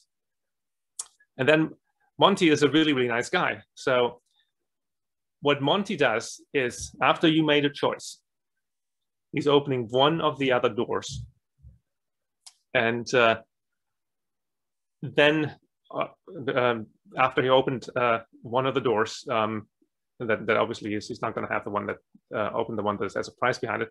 Uh, he's going to ask the participant, well, after I open this door now, do you want to reconsider your decision? Do you want to change or do you want to stick with the original decision? Um, and uh, for those who don't know the Monty Hall problem um, and uh, want to basically experience that uh, that problem for, for themselves, uh, um, yeah, just uh, write in the chat if you if you rather, rather would stick with the original choice or if you would change one of those stores. All right, so the people who know the problem, um, all right, we already have uh, we already have people basically you're, you're spilling it out. Uh, it's it's it's an informed crowd here that we're dealing with. Um, so my meetups, I, I often get people who who haven't heard of that problem yet, uh, which I always find astounding and always happy to to have people who haven't heard it yet. Um, and um, and there are people quite often uh, who who want to stick with their initial um, decision. Um, actually, in the um, uh, my, my, company went through the uh, CDL, the quantum um, stream that uh, was mentioned earlier in the earlier presentation. And uh, uh, obviously, everybody in this uh, quantum computing stream, um, they were all very, very, very smart people. Um, and uh, there was this one uh, physicist couple from, from Iran, um, really charming people. He was an experimentalist, she was a, a theorist, and they have not heard of the Monty Hall problem before. So I, I, I walked them through it, and it was pretty funny because the physicist uh, who was the, uh, the husband, um, he wanted to stick with the choice, um, and his wife, who was a theorist, basically said, "No, yeah, you want you want to change." Um, so let's let's game this out. Um, let's see exactly why um, one decision here is vastly superior to the other. Um, and oops, that's exactly why I prepared the other one. There's a live there's a live notebook here. Actually, I may not just not have initialized it properly. Let me just go through these things. Um, so let's use our software. I always like to do it with the actual software because um, I just like to, I guess, run with the risk here. But no, it is not running. Okay, let's switch to that one here that I have open. Um, so the way the way to model that um, simply is um, by, by what's called in decision um, theory uh, as, as, a Bayesian network. Um, and it's something that data scientists are, are pretty familiar with. Um, and um, essentially, you, you can condition on um, your, your first choice and you can condition on where the price is. and when you game this out, and, and this is not very readable, so I have a nice readable um, table here um, that gives you all the joint um, probabilities. Uh, essentially, essentially, you have um, all sorts of combination of where um, a door could be. And, and we label the door here in, in, typical computer science fashion from zero, one, and two. So it's not door one two, three, it's, it's, it's door zero, one, and two. Um, and So your choice could be uh, either zero, one, or two. Um, and the price could be behind any one of those doors, zero, one, or two. Um, so if you just do a brutal enumeration of all possibilities, that is the table you're getting. Um, and, and then that is essentially um, the probability space for each of these combinations. Um, and now what uh, a Bayesian network really does is nothing but a simplistic way, um, not, not simplistic, it's, it, it looks simplistic because it looks like an influence diagram, but it's actually um, a precise mathematical representation of the joint probabilities. Um, and um, you, you basically um, have the error representing um, the influences, influences that uh, uh, can, can uh, flow in your, uh, in your decision um, system here. So to, to make a long story short, when Monty opens the door, he doesn't really have a choice um, because if you happen to have the choice uh, that um, allows you to stick with the door, if you actually pick the price correctly at the beginning, so you, you got lucky, there's one third chance um, that, that you're basically gambling on when you do your first choice. That actually worked out.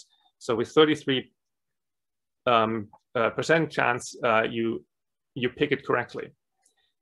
Um, that chance really does is not affected by Monty doing anything, but what is affected is Monty's choice in opening doors. If, if you pick the price correctly the first time around, if you pick the correct door, uh, Monty has a, still a choice. He can open either of the other doors because both other doors don't contain the price. But if you happen to pick one of the doors that does not have the price, so what is the more likely outcome? Um, let's say, for instance, um, you pick the first door, number zero, uh, then that means the price has to be um, in two of the other doors, right? So if Monty opens door number one, that is because door number one does not have the price behind it. He only he only has one door really he can open at that point because he does not want to reveal the price. So by being forced into opening that one door, he essentially gives away information. Um, and the information, of course, is conditioned on where the uh, where the actual price is. So if you get it, if you get it right, he has a choice. He can he can open either door. But if you don't get it right, yeah, he doesn't have a choice anymore. He has to open the other door, and that basically indicates to you that the chances now of switching is higher. Um, and really, the, the easiest way to think about it, your choice that you first made, the one third chance, that chance did not change when Monty opens a door. But now there's only one other alternative left after you open the door. And your one third chance is still the same. But now the other alternative, it has to come out to a probability of one again, is two third. So the, the, the chance of getting it right if you change is two third. Um, and, and, intuitively, that is not really all that, that clear with three doors. And it's kind of funny if you just change the, the number of doors around and, and uh, keep the problem the same, it's, it's actually much more intuitive. Uh, if, you, if you think you have 100 doors and behind one of the doors is, is, uh, is that price, um, and, and then you only have a 100th chance of getting it right if you, if you get a choice um, to make. And now Monty goes and opens 98 of the remaining doors. Uh, that gives you a pretty clear idea, you know, okay, there's one door that he did not open why did you not open that one? Well, probably because that's the one that has the, uh, the price in it. So uh, with 100 doors, it's, it's the same kind of math, one hundredth of a chance to get it right. Uh, and so you have 99% chance uh, with the other door. Um, so that's, that's the famous Monty Hall problem. Um, and, uh, and again, this is just all classical probability. So, so why, why do I why do I show you guys this? Well, uh, we, we call ourselves artistic BNet for a reason. That's because we took the concept of classical decision theory and uh, uh, put it into the quantum world. Because the funny thing actually is that um, when you're looking at uh, the kind of algebra and, and the kind of machines that you have when, when, uh, when, when, you're doing quantum logic, um, they are probabilistic machines intrinsically, and we heard this earlier uh, when talking about uh, the machine learning. Uh, what, what they do is essentially they give you a sample. They give you a sample of a distribution. Um, and when you're creating a quantum circuit, um, or the nice thing even is it doesn't have to be a quantum circuit. Uh, it could be any other uh, quantum device that you, for instance, initialize like like a D-Wave machine, um, where, where, you have uh, just a Hamiltonian that you structure. Um, so any, any quantum device that is tunable, uh, in, in the end is a sampling device. You're, you're running the experiment over and over and over again, um, and it gives you a distribution, a data distribution, that if you have your problem encoded in the way that you tune your quantum device, it is going to give you an answer. So if you, for instance, think about the most famous algorithm, Shor's algorithm, which kind of like got everything excited because it's, it scales exponentially. Um, in order to get an answer, um, like let's say um, the, the, one that, that has been actually run on the quantum computer right now is the uh, factorization of the number 21. That's actually the only, the only number that has been factorized on a quantum computer um, to this date uh, with Shor's algorithm because our quantum computers are just so small. Um, so uh, 21, it's three times seven.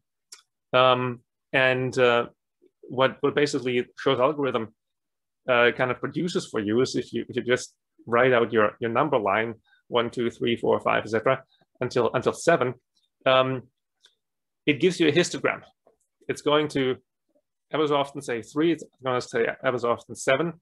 Sometimes it's going to get this wrong because it's a it's a probabilistic machine. So sometimes there's going to be still a two in there. Uh, but if you just run it and run and run it uh, and look at the histogram, you're going to get mostly three and mostly seven. They're going to be spikes above the seven and the three. And if you just keep running it long enough, uh, the fidelity is, is you, you, can make the fidelity as, as um, precise as you want, but just keep running the experiment.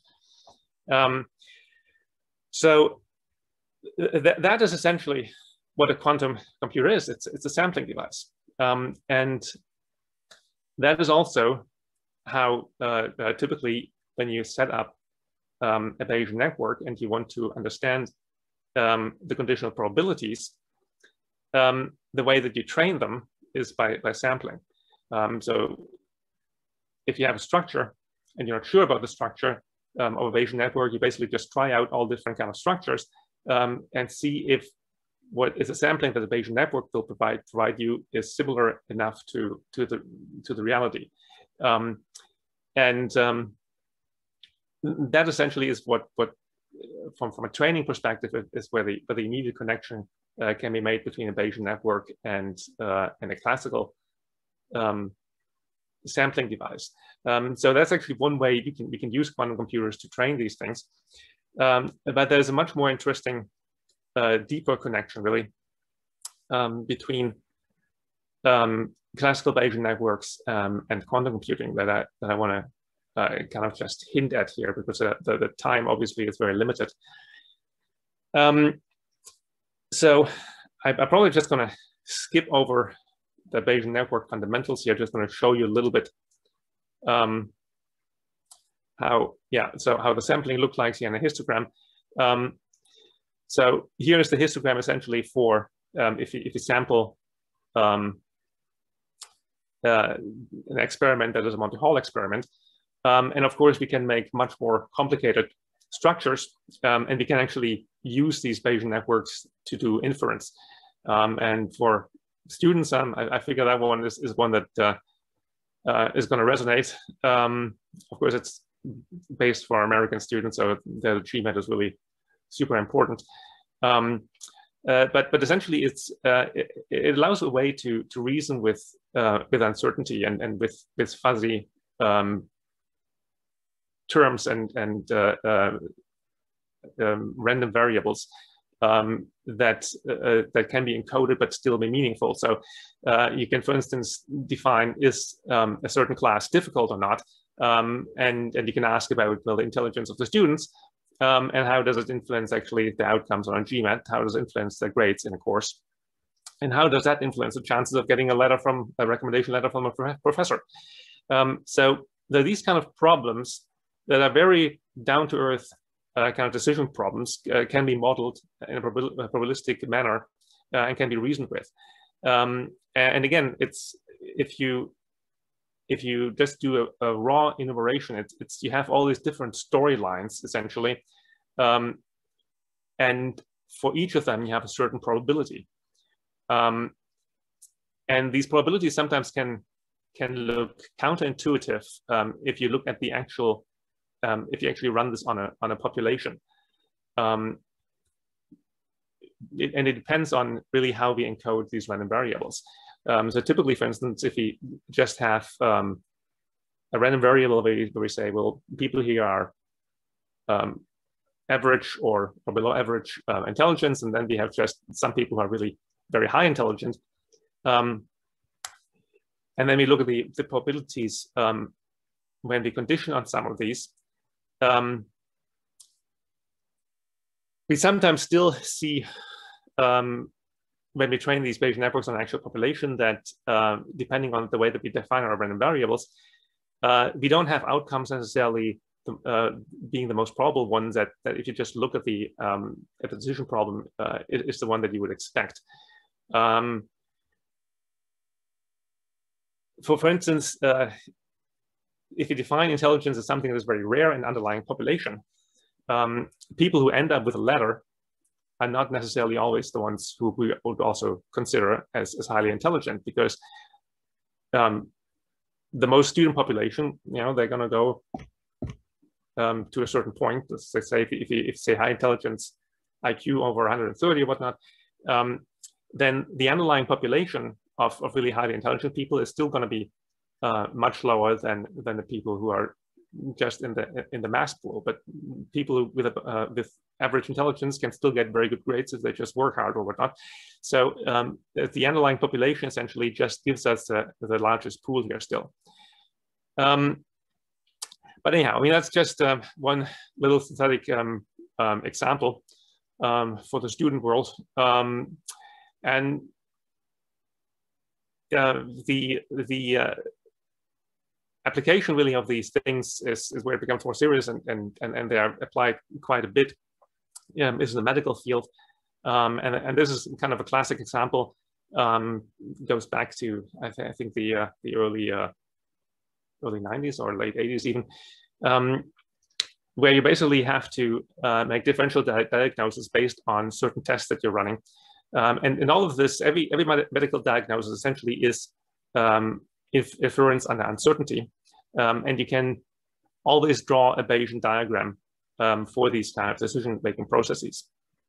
Um, so the medical field really is uh, is one that uh, um, uh, that that has been pioneering this uh, this approach to decision making early on, uh, because you can't have um, any black box decision making in, in this kind of process. Every every decision that a, that the, the doctor makes has to be supported by data if it's if it's uh, uh, properly done. Um, and so drawing out these, these decision networks um, in the medical field and pre-structuring these networks, uh, that is typically where Bayesian networks started. They were not originally an approach to machine learning um, because you could pre-structure them, and that is still uh, a huge advantage of that approach to what has now become machine learning, um, because the priors, um, the prior knowledge uh, can be embedded in, in, in that kind of structure.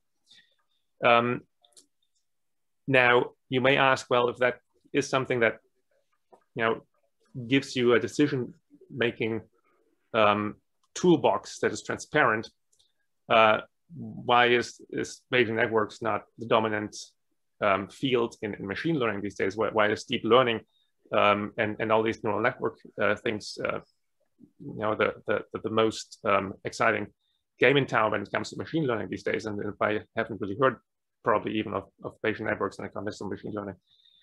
Well, the reason for that is that um, they are probabilistic systems. Um, and that means that calculating the gradient, if you want to train them, um, is not trivial.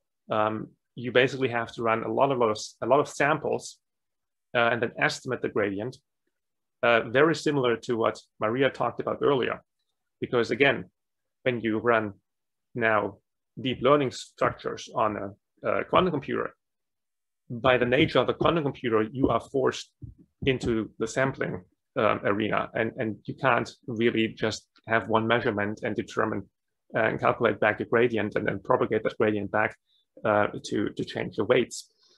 Um, with Bayesian networks in, inherently in the structure, because they're probabilistic inference, um, we, we, never had the luxury to be able to, to just calculate um, gradients back across the entire network easily um, and uh, uh, uh, get the correct result easily that way. Um, it always has always been a sampling exercise. Um, and especially if you have large uh, Bayesian networks, um, you, you run the same kind of uh, scaling issue uh, that you have with the traveling salesman problem, right? Every, every node uh, could be potentially connected to another node. You don't know, if you don't know anything about um, your problem domain, you don't know what variables are going to influence other variables.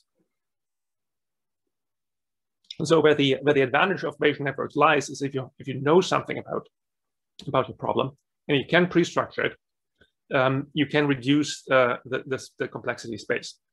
But if you don't have that knowledge, um, if you're complete, completely blind, uh, then training uh, Bayesian networks um, is, is super exponentially hard. Um, and, and again, that is then, of course, where uh, the question comes in, well, could um, quantum computers help us with that? Um, and the answer is yes, to some extent. Uh, but to uh, tie back to what Professor Emerson just told us and, and gave us a, a, nice little reality check, um, most quantum algorithms out there are actually not exponentially speed up quantum algorithms. Um, but that doesn't mean there's not a speed up uh, that that won't become relevant. Uh, the second most famous quantum algorithm is, is Grover's search um, algorithm uh, because it's the most fundamental problem really in, in, in data science is sorting an unsorted list. Um, now, can a quantum computer do that exponentially faster? Not that we know of, but Grover's algorithm uh, can prove a polynomial speedup. Um, so one way basically to, to accelerate uh, the training of, of Bayesian networks is we had a large enough quantum computer um, in the gate model um, to take that on yet would be uh, to use a, a variant of, um, of Grover's algorithm. Um, but then there are other ways to embed that problem um, in other architectures. Um, and we have heard D-Wave mentioned here before, but we haven't really seen any examples um, for D-Wave. But one of the companies actually sponsoring this, talk, uh, this talk I think, is Zapata. And the co-founder of it, uh, uh, Professor Aspuru-Guzik, uh, he uh, co-wrote a paper and, and then patented it for training, uh, structure training of Bayesian networks on a quantum annealer um, and quantum annealing is what, uh, what the D-Wave machine is, is doing. Um, and the interesting thing is if you, if you can find approaches that work on uh, quantum annealers, um, they don't have the overhead that they re require with gate-based architectures. Uh, gate-based architectures, you really want very good error correction. Otherwise, um, a couple of, of steps into your algorithm, uh, the noise is going to overwhelm the signal. Um, and uh, in a quantum annealing architecture, you don't have to worry about the noise as much. Um, and uh, that is why uh, D-Wave um, has chips out there with now with uh, 2000 qubits, um, and they can still do potentially useful things if you find a way to formulate a problem uh, in a way well, Henning, uh, so, sorry to cut you off. Um, yep. We're running a little bit short on time. Yeah, let me just make a quick quick connection here to, to the quantum role. Mm-hmm. Um, and I, I, think that's, that's just the, the one interesting thing that I, I want to get um, across here. uh, when we talked about uh, uh, classical Bayesian networks, we talked about stories, about enumerating all possible scenarios. Um, and if you're a physicist, this may um, remind you a little bit of um, the, the way that you can um, formulate and, and, and, get uh, classical mechanics established uh, by the least action principle, where basically look at every possible trajectory, um, and then we, we just optimize for the one that is the, the least action uh, trajectory. Uh, and that has been generalized in, in quantum mechanics as a famous path integral. Um, so without much further ado, um, basically what I just want to throw out there for you guys is that if you replace the, the classical probabilities in a Bayesian network with uh, complex value probabilities, uh, you can actually encode any physical system, uh, including the famous double slit experiment that all of you heard about at one point or another. Um, and, and if you do that, um, then the, the which way information um, of the double slit experiment, where we, where we switch from, from having a, a classical uh, um, uh, projection on the screen to the interference of the quantum, uh, quantum realm. Um, that which way information is the same thing as conditioning on a node uh, in a Bayesian network. Um, so uh, we, we can essentially just use the same structure that we use in, in classical um, reasoning about probabilities uh, by, by simply switching out the classical ones to uh, the wave function, the complex valued uh, probability values that, that, go into a, a quantum wave, function, and, and we get the same kind of structure. It's, it's the same, it is the very same math. The algebra all holds up. It's just that now all of a sudden, instead of a, a real value, we're working with, with complex values. Um, and uh, engineers here should be happy to see that we actually use a J for it instead of an I, like the first physicists do. Um, so when you when you um, play this out, um, essentially um, you're just looking at one spot now, a screen where we have absolutely zero um, uh, chance of getting anything um, when we're when we're in the uh, in the domain of not not knowing um, when we're in the domain of knowing what uh, what path uh, uh, the, the classical particle takes. So in the classical world, we know there's not going to be any probability to find something in this particular spot on our screen.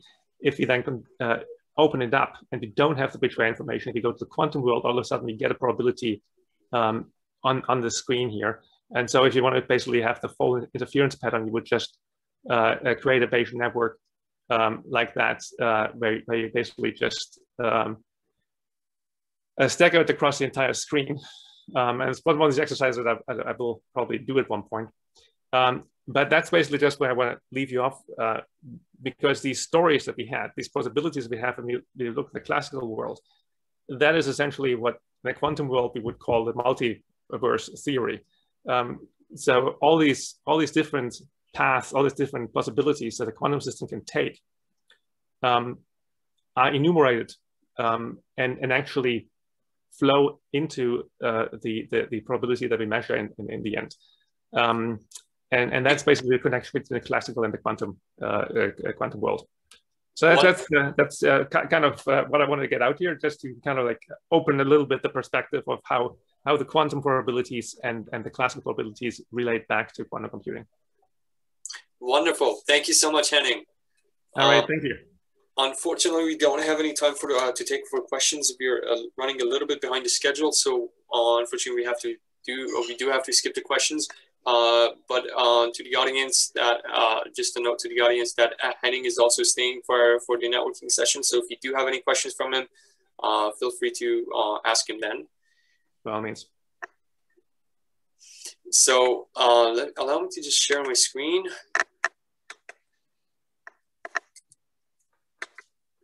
And for our final and last speaker, Professor uh, Sorin Voinigescu.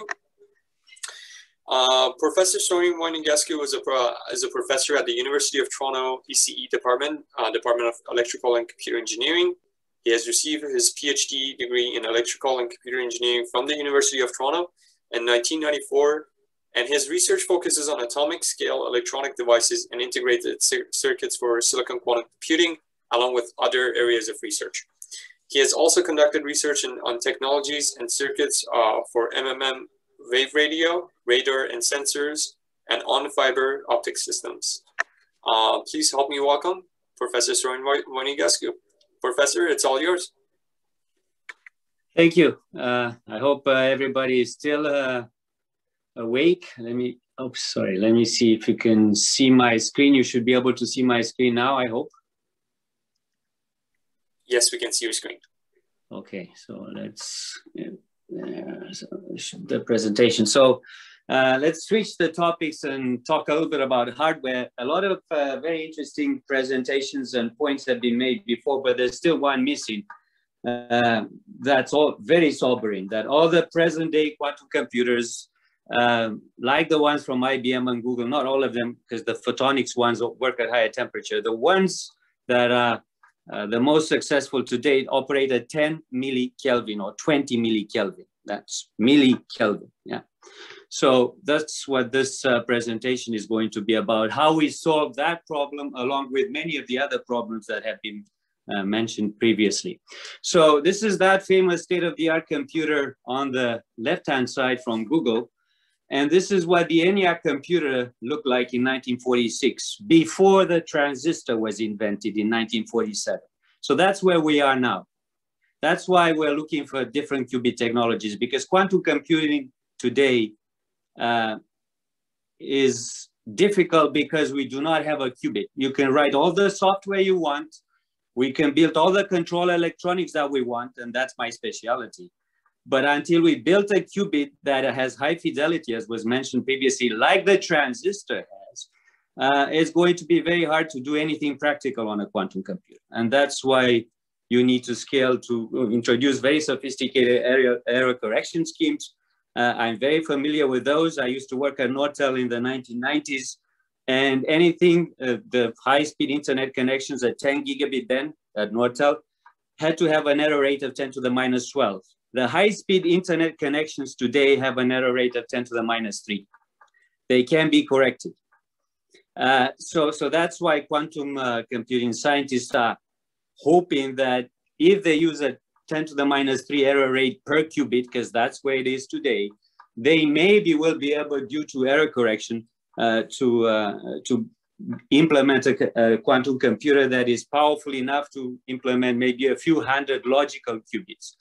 Uh, but in order to do that, you need about 1 million physical qubits. And I'll, I'll talk a little bit about the difference between logical and physical qubits and the difference in what I understand as a circuit and what was presented previously as a quantum circuit, which is in my mind just an algorithm, has nothing to do with a physical circuit. So just to put things in perspective, forget the qubits, the qubits are here and they could be superconducting photonics qubits, uh, semiconductor qubits, which I'm going to talk briefly about.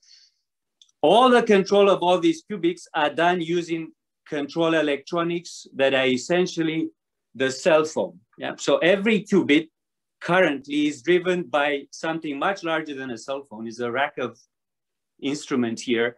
And we hope that in one day, uh, maybe in the next few years, we'll have a cell phone driving a qubit, or maybe five to 10 qubits. And it, we're talking about a cell phone that is much more complicated than a 5G cell phone, which you don't yet have, have because the current 5G cell phones operate more like the 4G cell phones.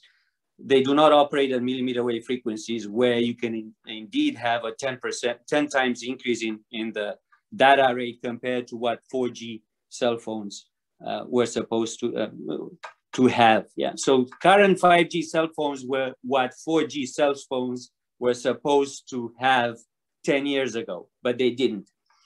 So, so that's what you have to keep in mind, that in order to drive a single qubit, you need today for these superconducting qubits in the Google or IBM processor, uh, or in the D-Wave one for that matter, because they are all actually using the same technology, that of superconducting qubits. Uh, so you need a five gigahertz to seven gigahertz range signal, which is an analog signal. Quantum computing has nothing to do with digital logic and digital signal. It's all RF circuits. So that's very important to keep in mind. So this is the technology that D-Wave, IBM, and uh, Google are using. It's called uh, superconducting Josephson junction technology. This is the qubit array. It's a two-dimensional array of qubits. The crosses here represents the actual physical qubits. and the uh, blue rectangles represent couplers. So this is the equivalent circuit of such a qubit. This is the actual physical implementation. They are fabricated in an old CMOS fab from the early 2000s. Yeah, they use CMOS technology, but they use a much simpler version of the CMOS technology, but it's 20 years old technology. And the size of the qubit, this is a 100 micron scale here, it's about one millimeter by one millimeter. So if you want to scale that uh, Google processor to a million qubits, it'll be larger than a stadium. And it consumes the power of several nuclear power stations. So that's the problem with the current technology. So uh, uh, another reason about temperature is that when we create a qubit, we need a two-level quantum system. And in a Josephson junction qubit, this is actually a, a pseudo a pseudo spin. The entire infrastructure of quantum computing is based on the electron spin one-half system. All the other implementations that do not actually use a physical spin of, in, of qubits in quantum computing are fake and they're known as pseudo spins.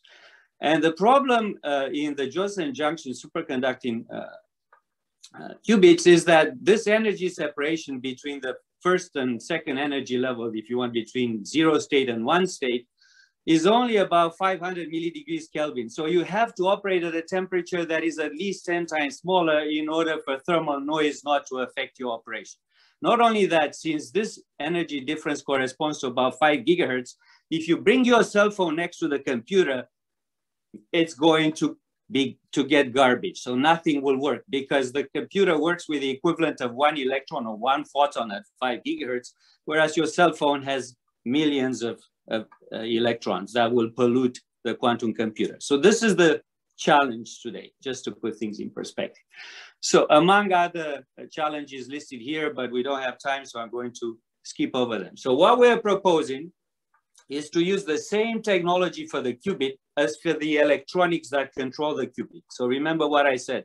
All the electronics, irrespective of the qubit technology used, uh, are the same.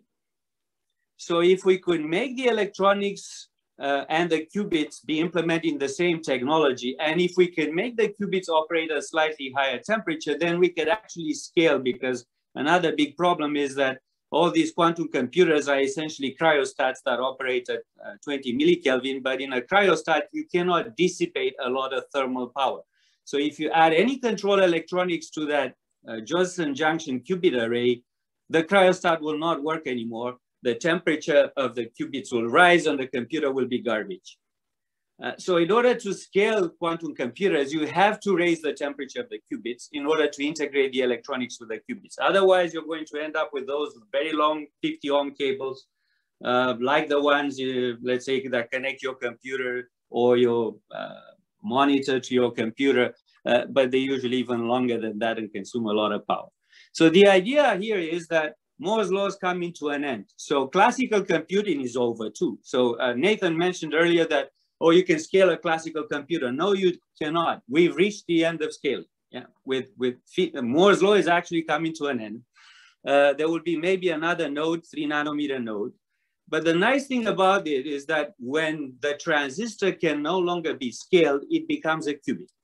Quantum effects dominate. And today we see quantum effects in the smallest transistors, commercial transistors, even at about 50 degrees Kelvin. So about uh, a thousand times higher temperature than the uh, temperature at which the uh, IBM and the Google quantum computer operate. So actually, this is a top view of a transistor. This is a trans, uh, cross section through a commercial transistor from tw in 22 nanometer FDSOI technology from Global Foundries that used to be IBM. And we actually make the qubit in the smallest transistor size. And you see that this 70 nanometer, the gate length is 18 nanometer. It's a thousand times smaller than the Google or IBM qubit. So it's very well scalable. And, and uh, to cut things short, so we can create below this gate a quantum well where we have two energy levels that are uh, separated by uh, two to five milli electron volts. And then we apply a magnetic field and we split the first energy level into two separate levels that form the uh, spin up and spin down states, and we use electron or hole spin uh, to uh, create the qubit. Now, you were asking, somebody was asking earlier, how do you control the qubit? This is what the qubit does. So we apply a signal in our case because we want to operate at high temperature, uh, at, at least 10 times higher temperature than, than the uh, existing processors. So if you want to operate the qubit at higher temperature, you have to drive it at much higher frequencies. So we apply an 80 gigahertz signal, which is about 20 times higher than what is in your cell phone, uh, to the qubit gate uh, at the what's called spin resonant frequency or spin control frequency. And what you get out is the probability of having a spin up or spin down or zero one state at the output, which is the quantum operation, if you want. And you see here what happens to the qubit state on the Bloch sphere. And, and it rotates around the Bloch sphere at this uh, Rabi frequency, which is actually the clock frequency of a quantum computer. And you actually want this Rabi frequency to be as fast as possible because you want to uh, execute as many quantum gate operations within the lifetime of the qubit, which was mentioned earlier. The lifetime of the qubit dictates the depth of your algorithm or the depth of the circuit that was mentioned earlier. And unfortunately, today you cannot do more than 100 quantum gate operations on existing computers because their lifetime is so short in the, or the order of one microsecond that if your algorithm runs longer than a, a one microsecond, the result is garbage. So in order to increase the complexity of the computer, you either have to operate to, to execute the operations much faster, and that's what we're doing here, or you have to increase the lifetime of the, really you should do both. Uh, all right, so uh, this is what we're proposing. We're proposing to integrate together both the qubits and the actual entire computer is a shift register on which you sequentially operate, uh, execute those uh, quantum gates. So the qubit is at the same time the quantum gate and the quantum circuit and the memory. So everything occurs in this qubit array and the results you just read afterwards and amplify uh, and then you submit to some sort of switch that distinguishes whether you had a spin up or spin down. And that's where classical logic uh, is applied. Uh, but um, uh, but but all the spin manipulation is performed using RF signals, analog mixed signal signals. Now, just to get a perspective of how scalable semiconductor qubits are. Well, one of these qubits consumes about uh, uh, 10 picoamps, like five picowatts of power. In a classical processor today, you have 50 billion, billion transistors. We use those transistors as qubits.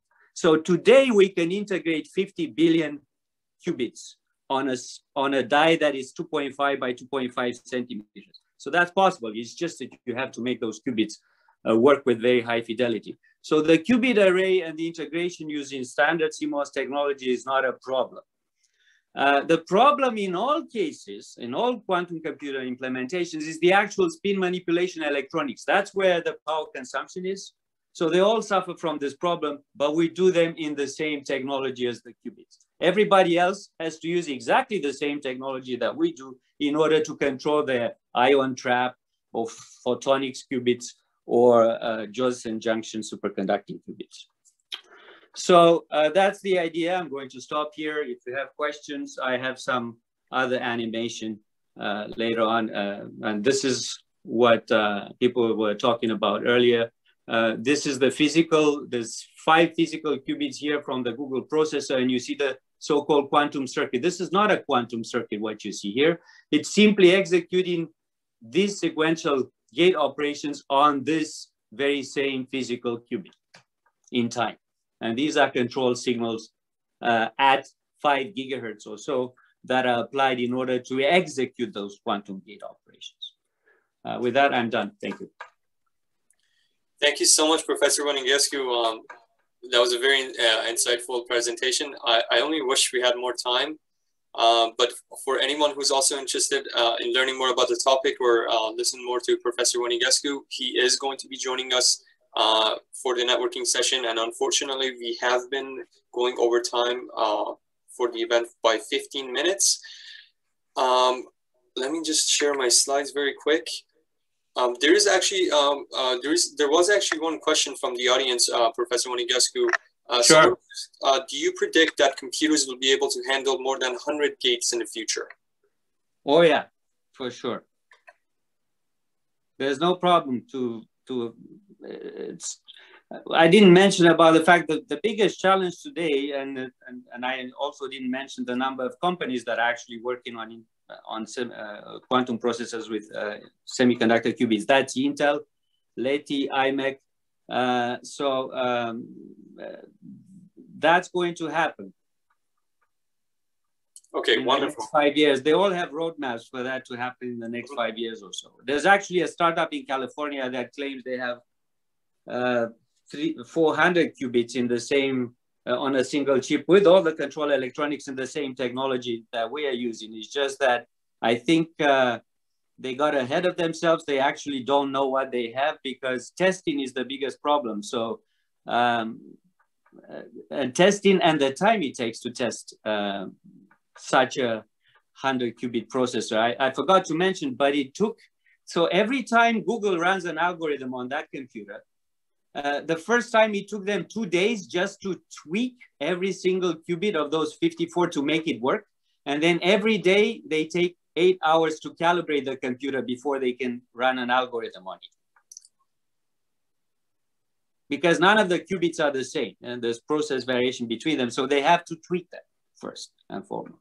So that's your quantum computer today. Yeah, it takes eight hours just to start up. And then it, uh, uh and, and, and the first time they do it, it's 24 hours and then they keep it there at 20 millikelvin continuously. If they change the temperature, then they have to start again. Very well, thank you so much. Um, I'm going to share my screen. Uh, thank you so much, Professor Voinigescu, for coming. Um, and for the audience, Professor Voinigescu will be also joining us uh, during the networking session. So if you do have any other questions, uh, please feel free to uh, go and ask him. I'm going to- I stop sharing. I think I managed to do that. I'm yes. Sure. Thank you. Okay. Thank you very much. Um, so we're going into our networking session right now. Um, and to just show you uh, briefly uh, what the structures are, um, if you take a look at your um, the, the bottom right of your screen, you see that there are options uh, for breakout rooms and you, you have the option to choose the breakout room that you wish to go to. And there are about 13 breakout rooms right now. So depending on who you want to go and chat with, uh, if you have any questions from them, uh, please feel free to go there. Um, we have some of our networking guests coming in also right now. Uh, we ask them to please uh, go ahead and go to the uh, assigned breakout room uh, that we have here on the screen. Um, that would be amazing. And uh, with that, we also want to uh, thank you for uh, the rooms will be open for the next 30 and 30 to 40, 30, 30 to 45 minutes. Um, we ask everybody to stay in. If they, uh, if you, they have any questions, just send us uh, send us your messages. Uh, you can feel free to, feel free to change between the rooms. If you want to go to different rooms, ask different questions, come back, ask another question. Feel free to do that. We will be showing uh, we will be sharing a survey with you guys after the event. Uh, we would really appreciate it if you could give us your feedback on how the event was. And thank you again so much for your support. I'm going to st stop screen sharing and have fun at the networking.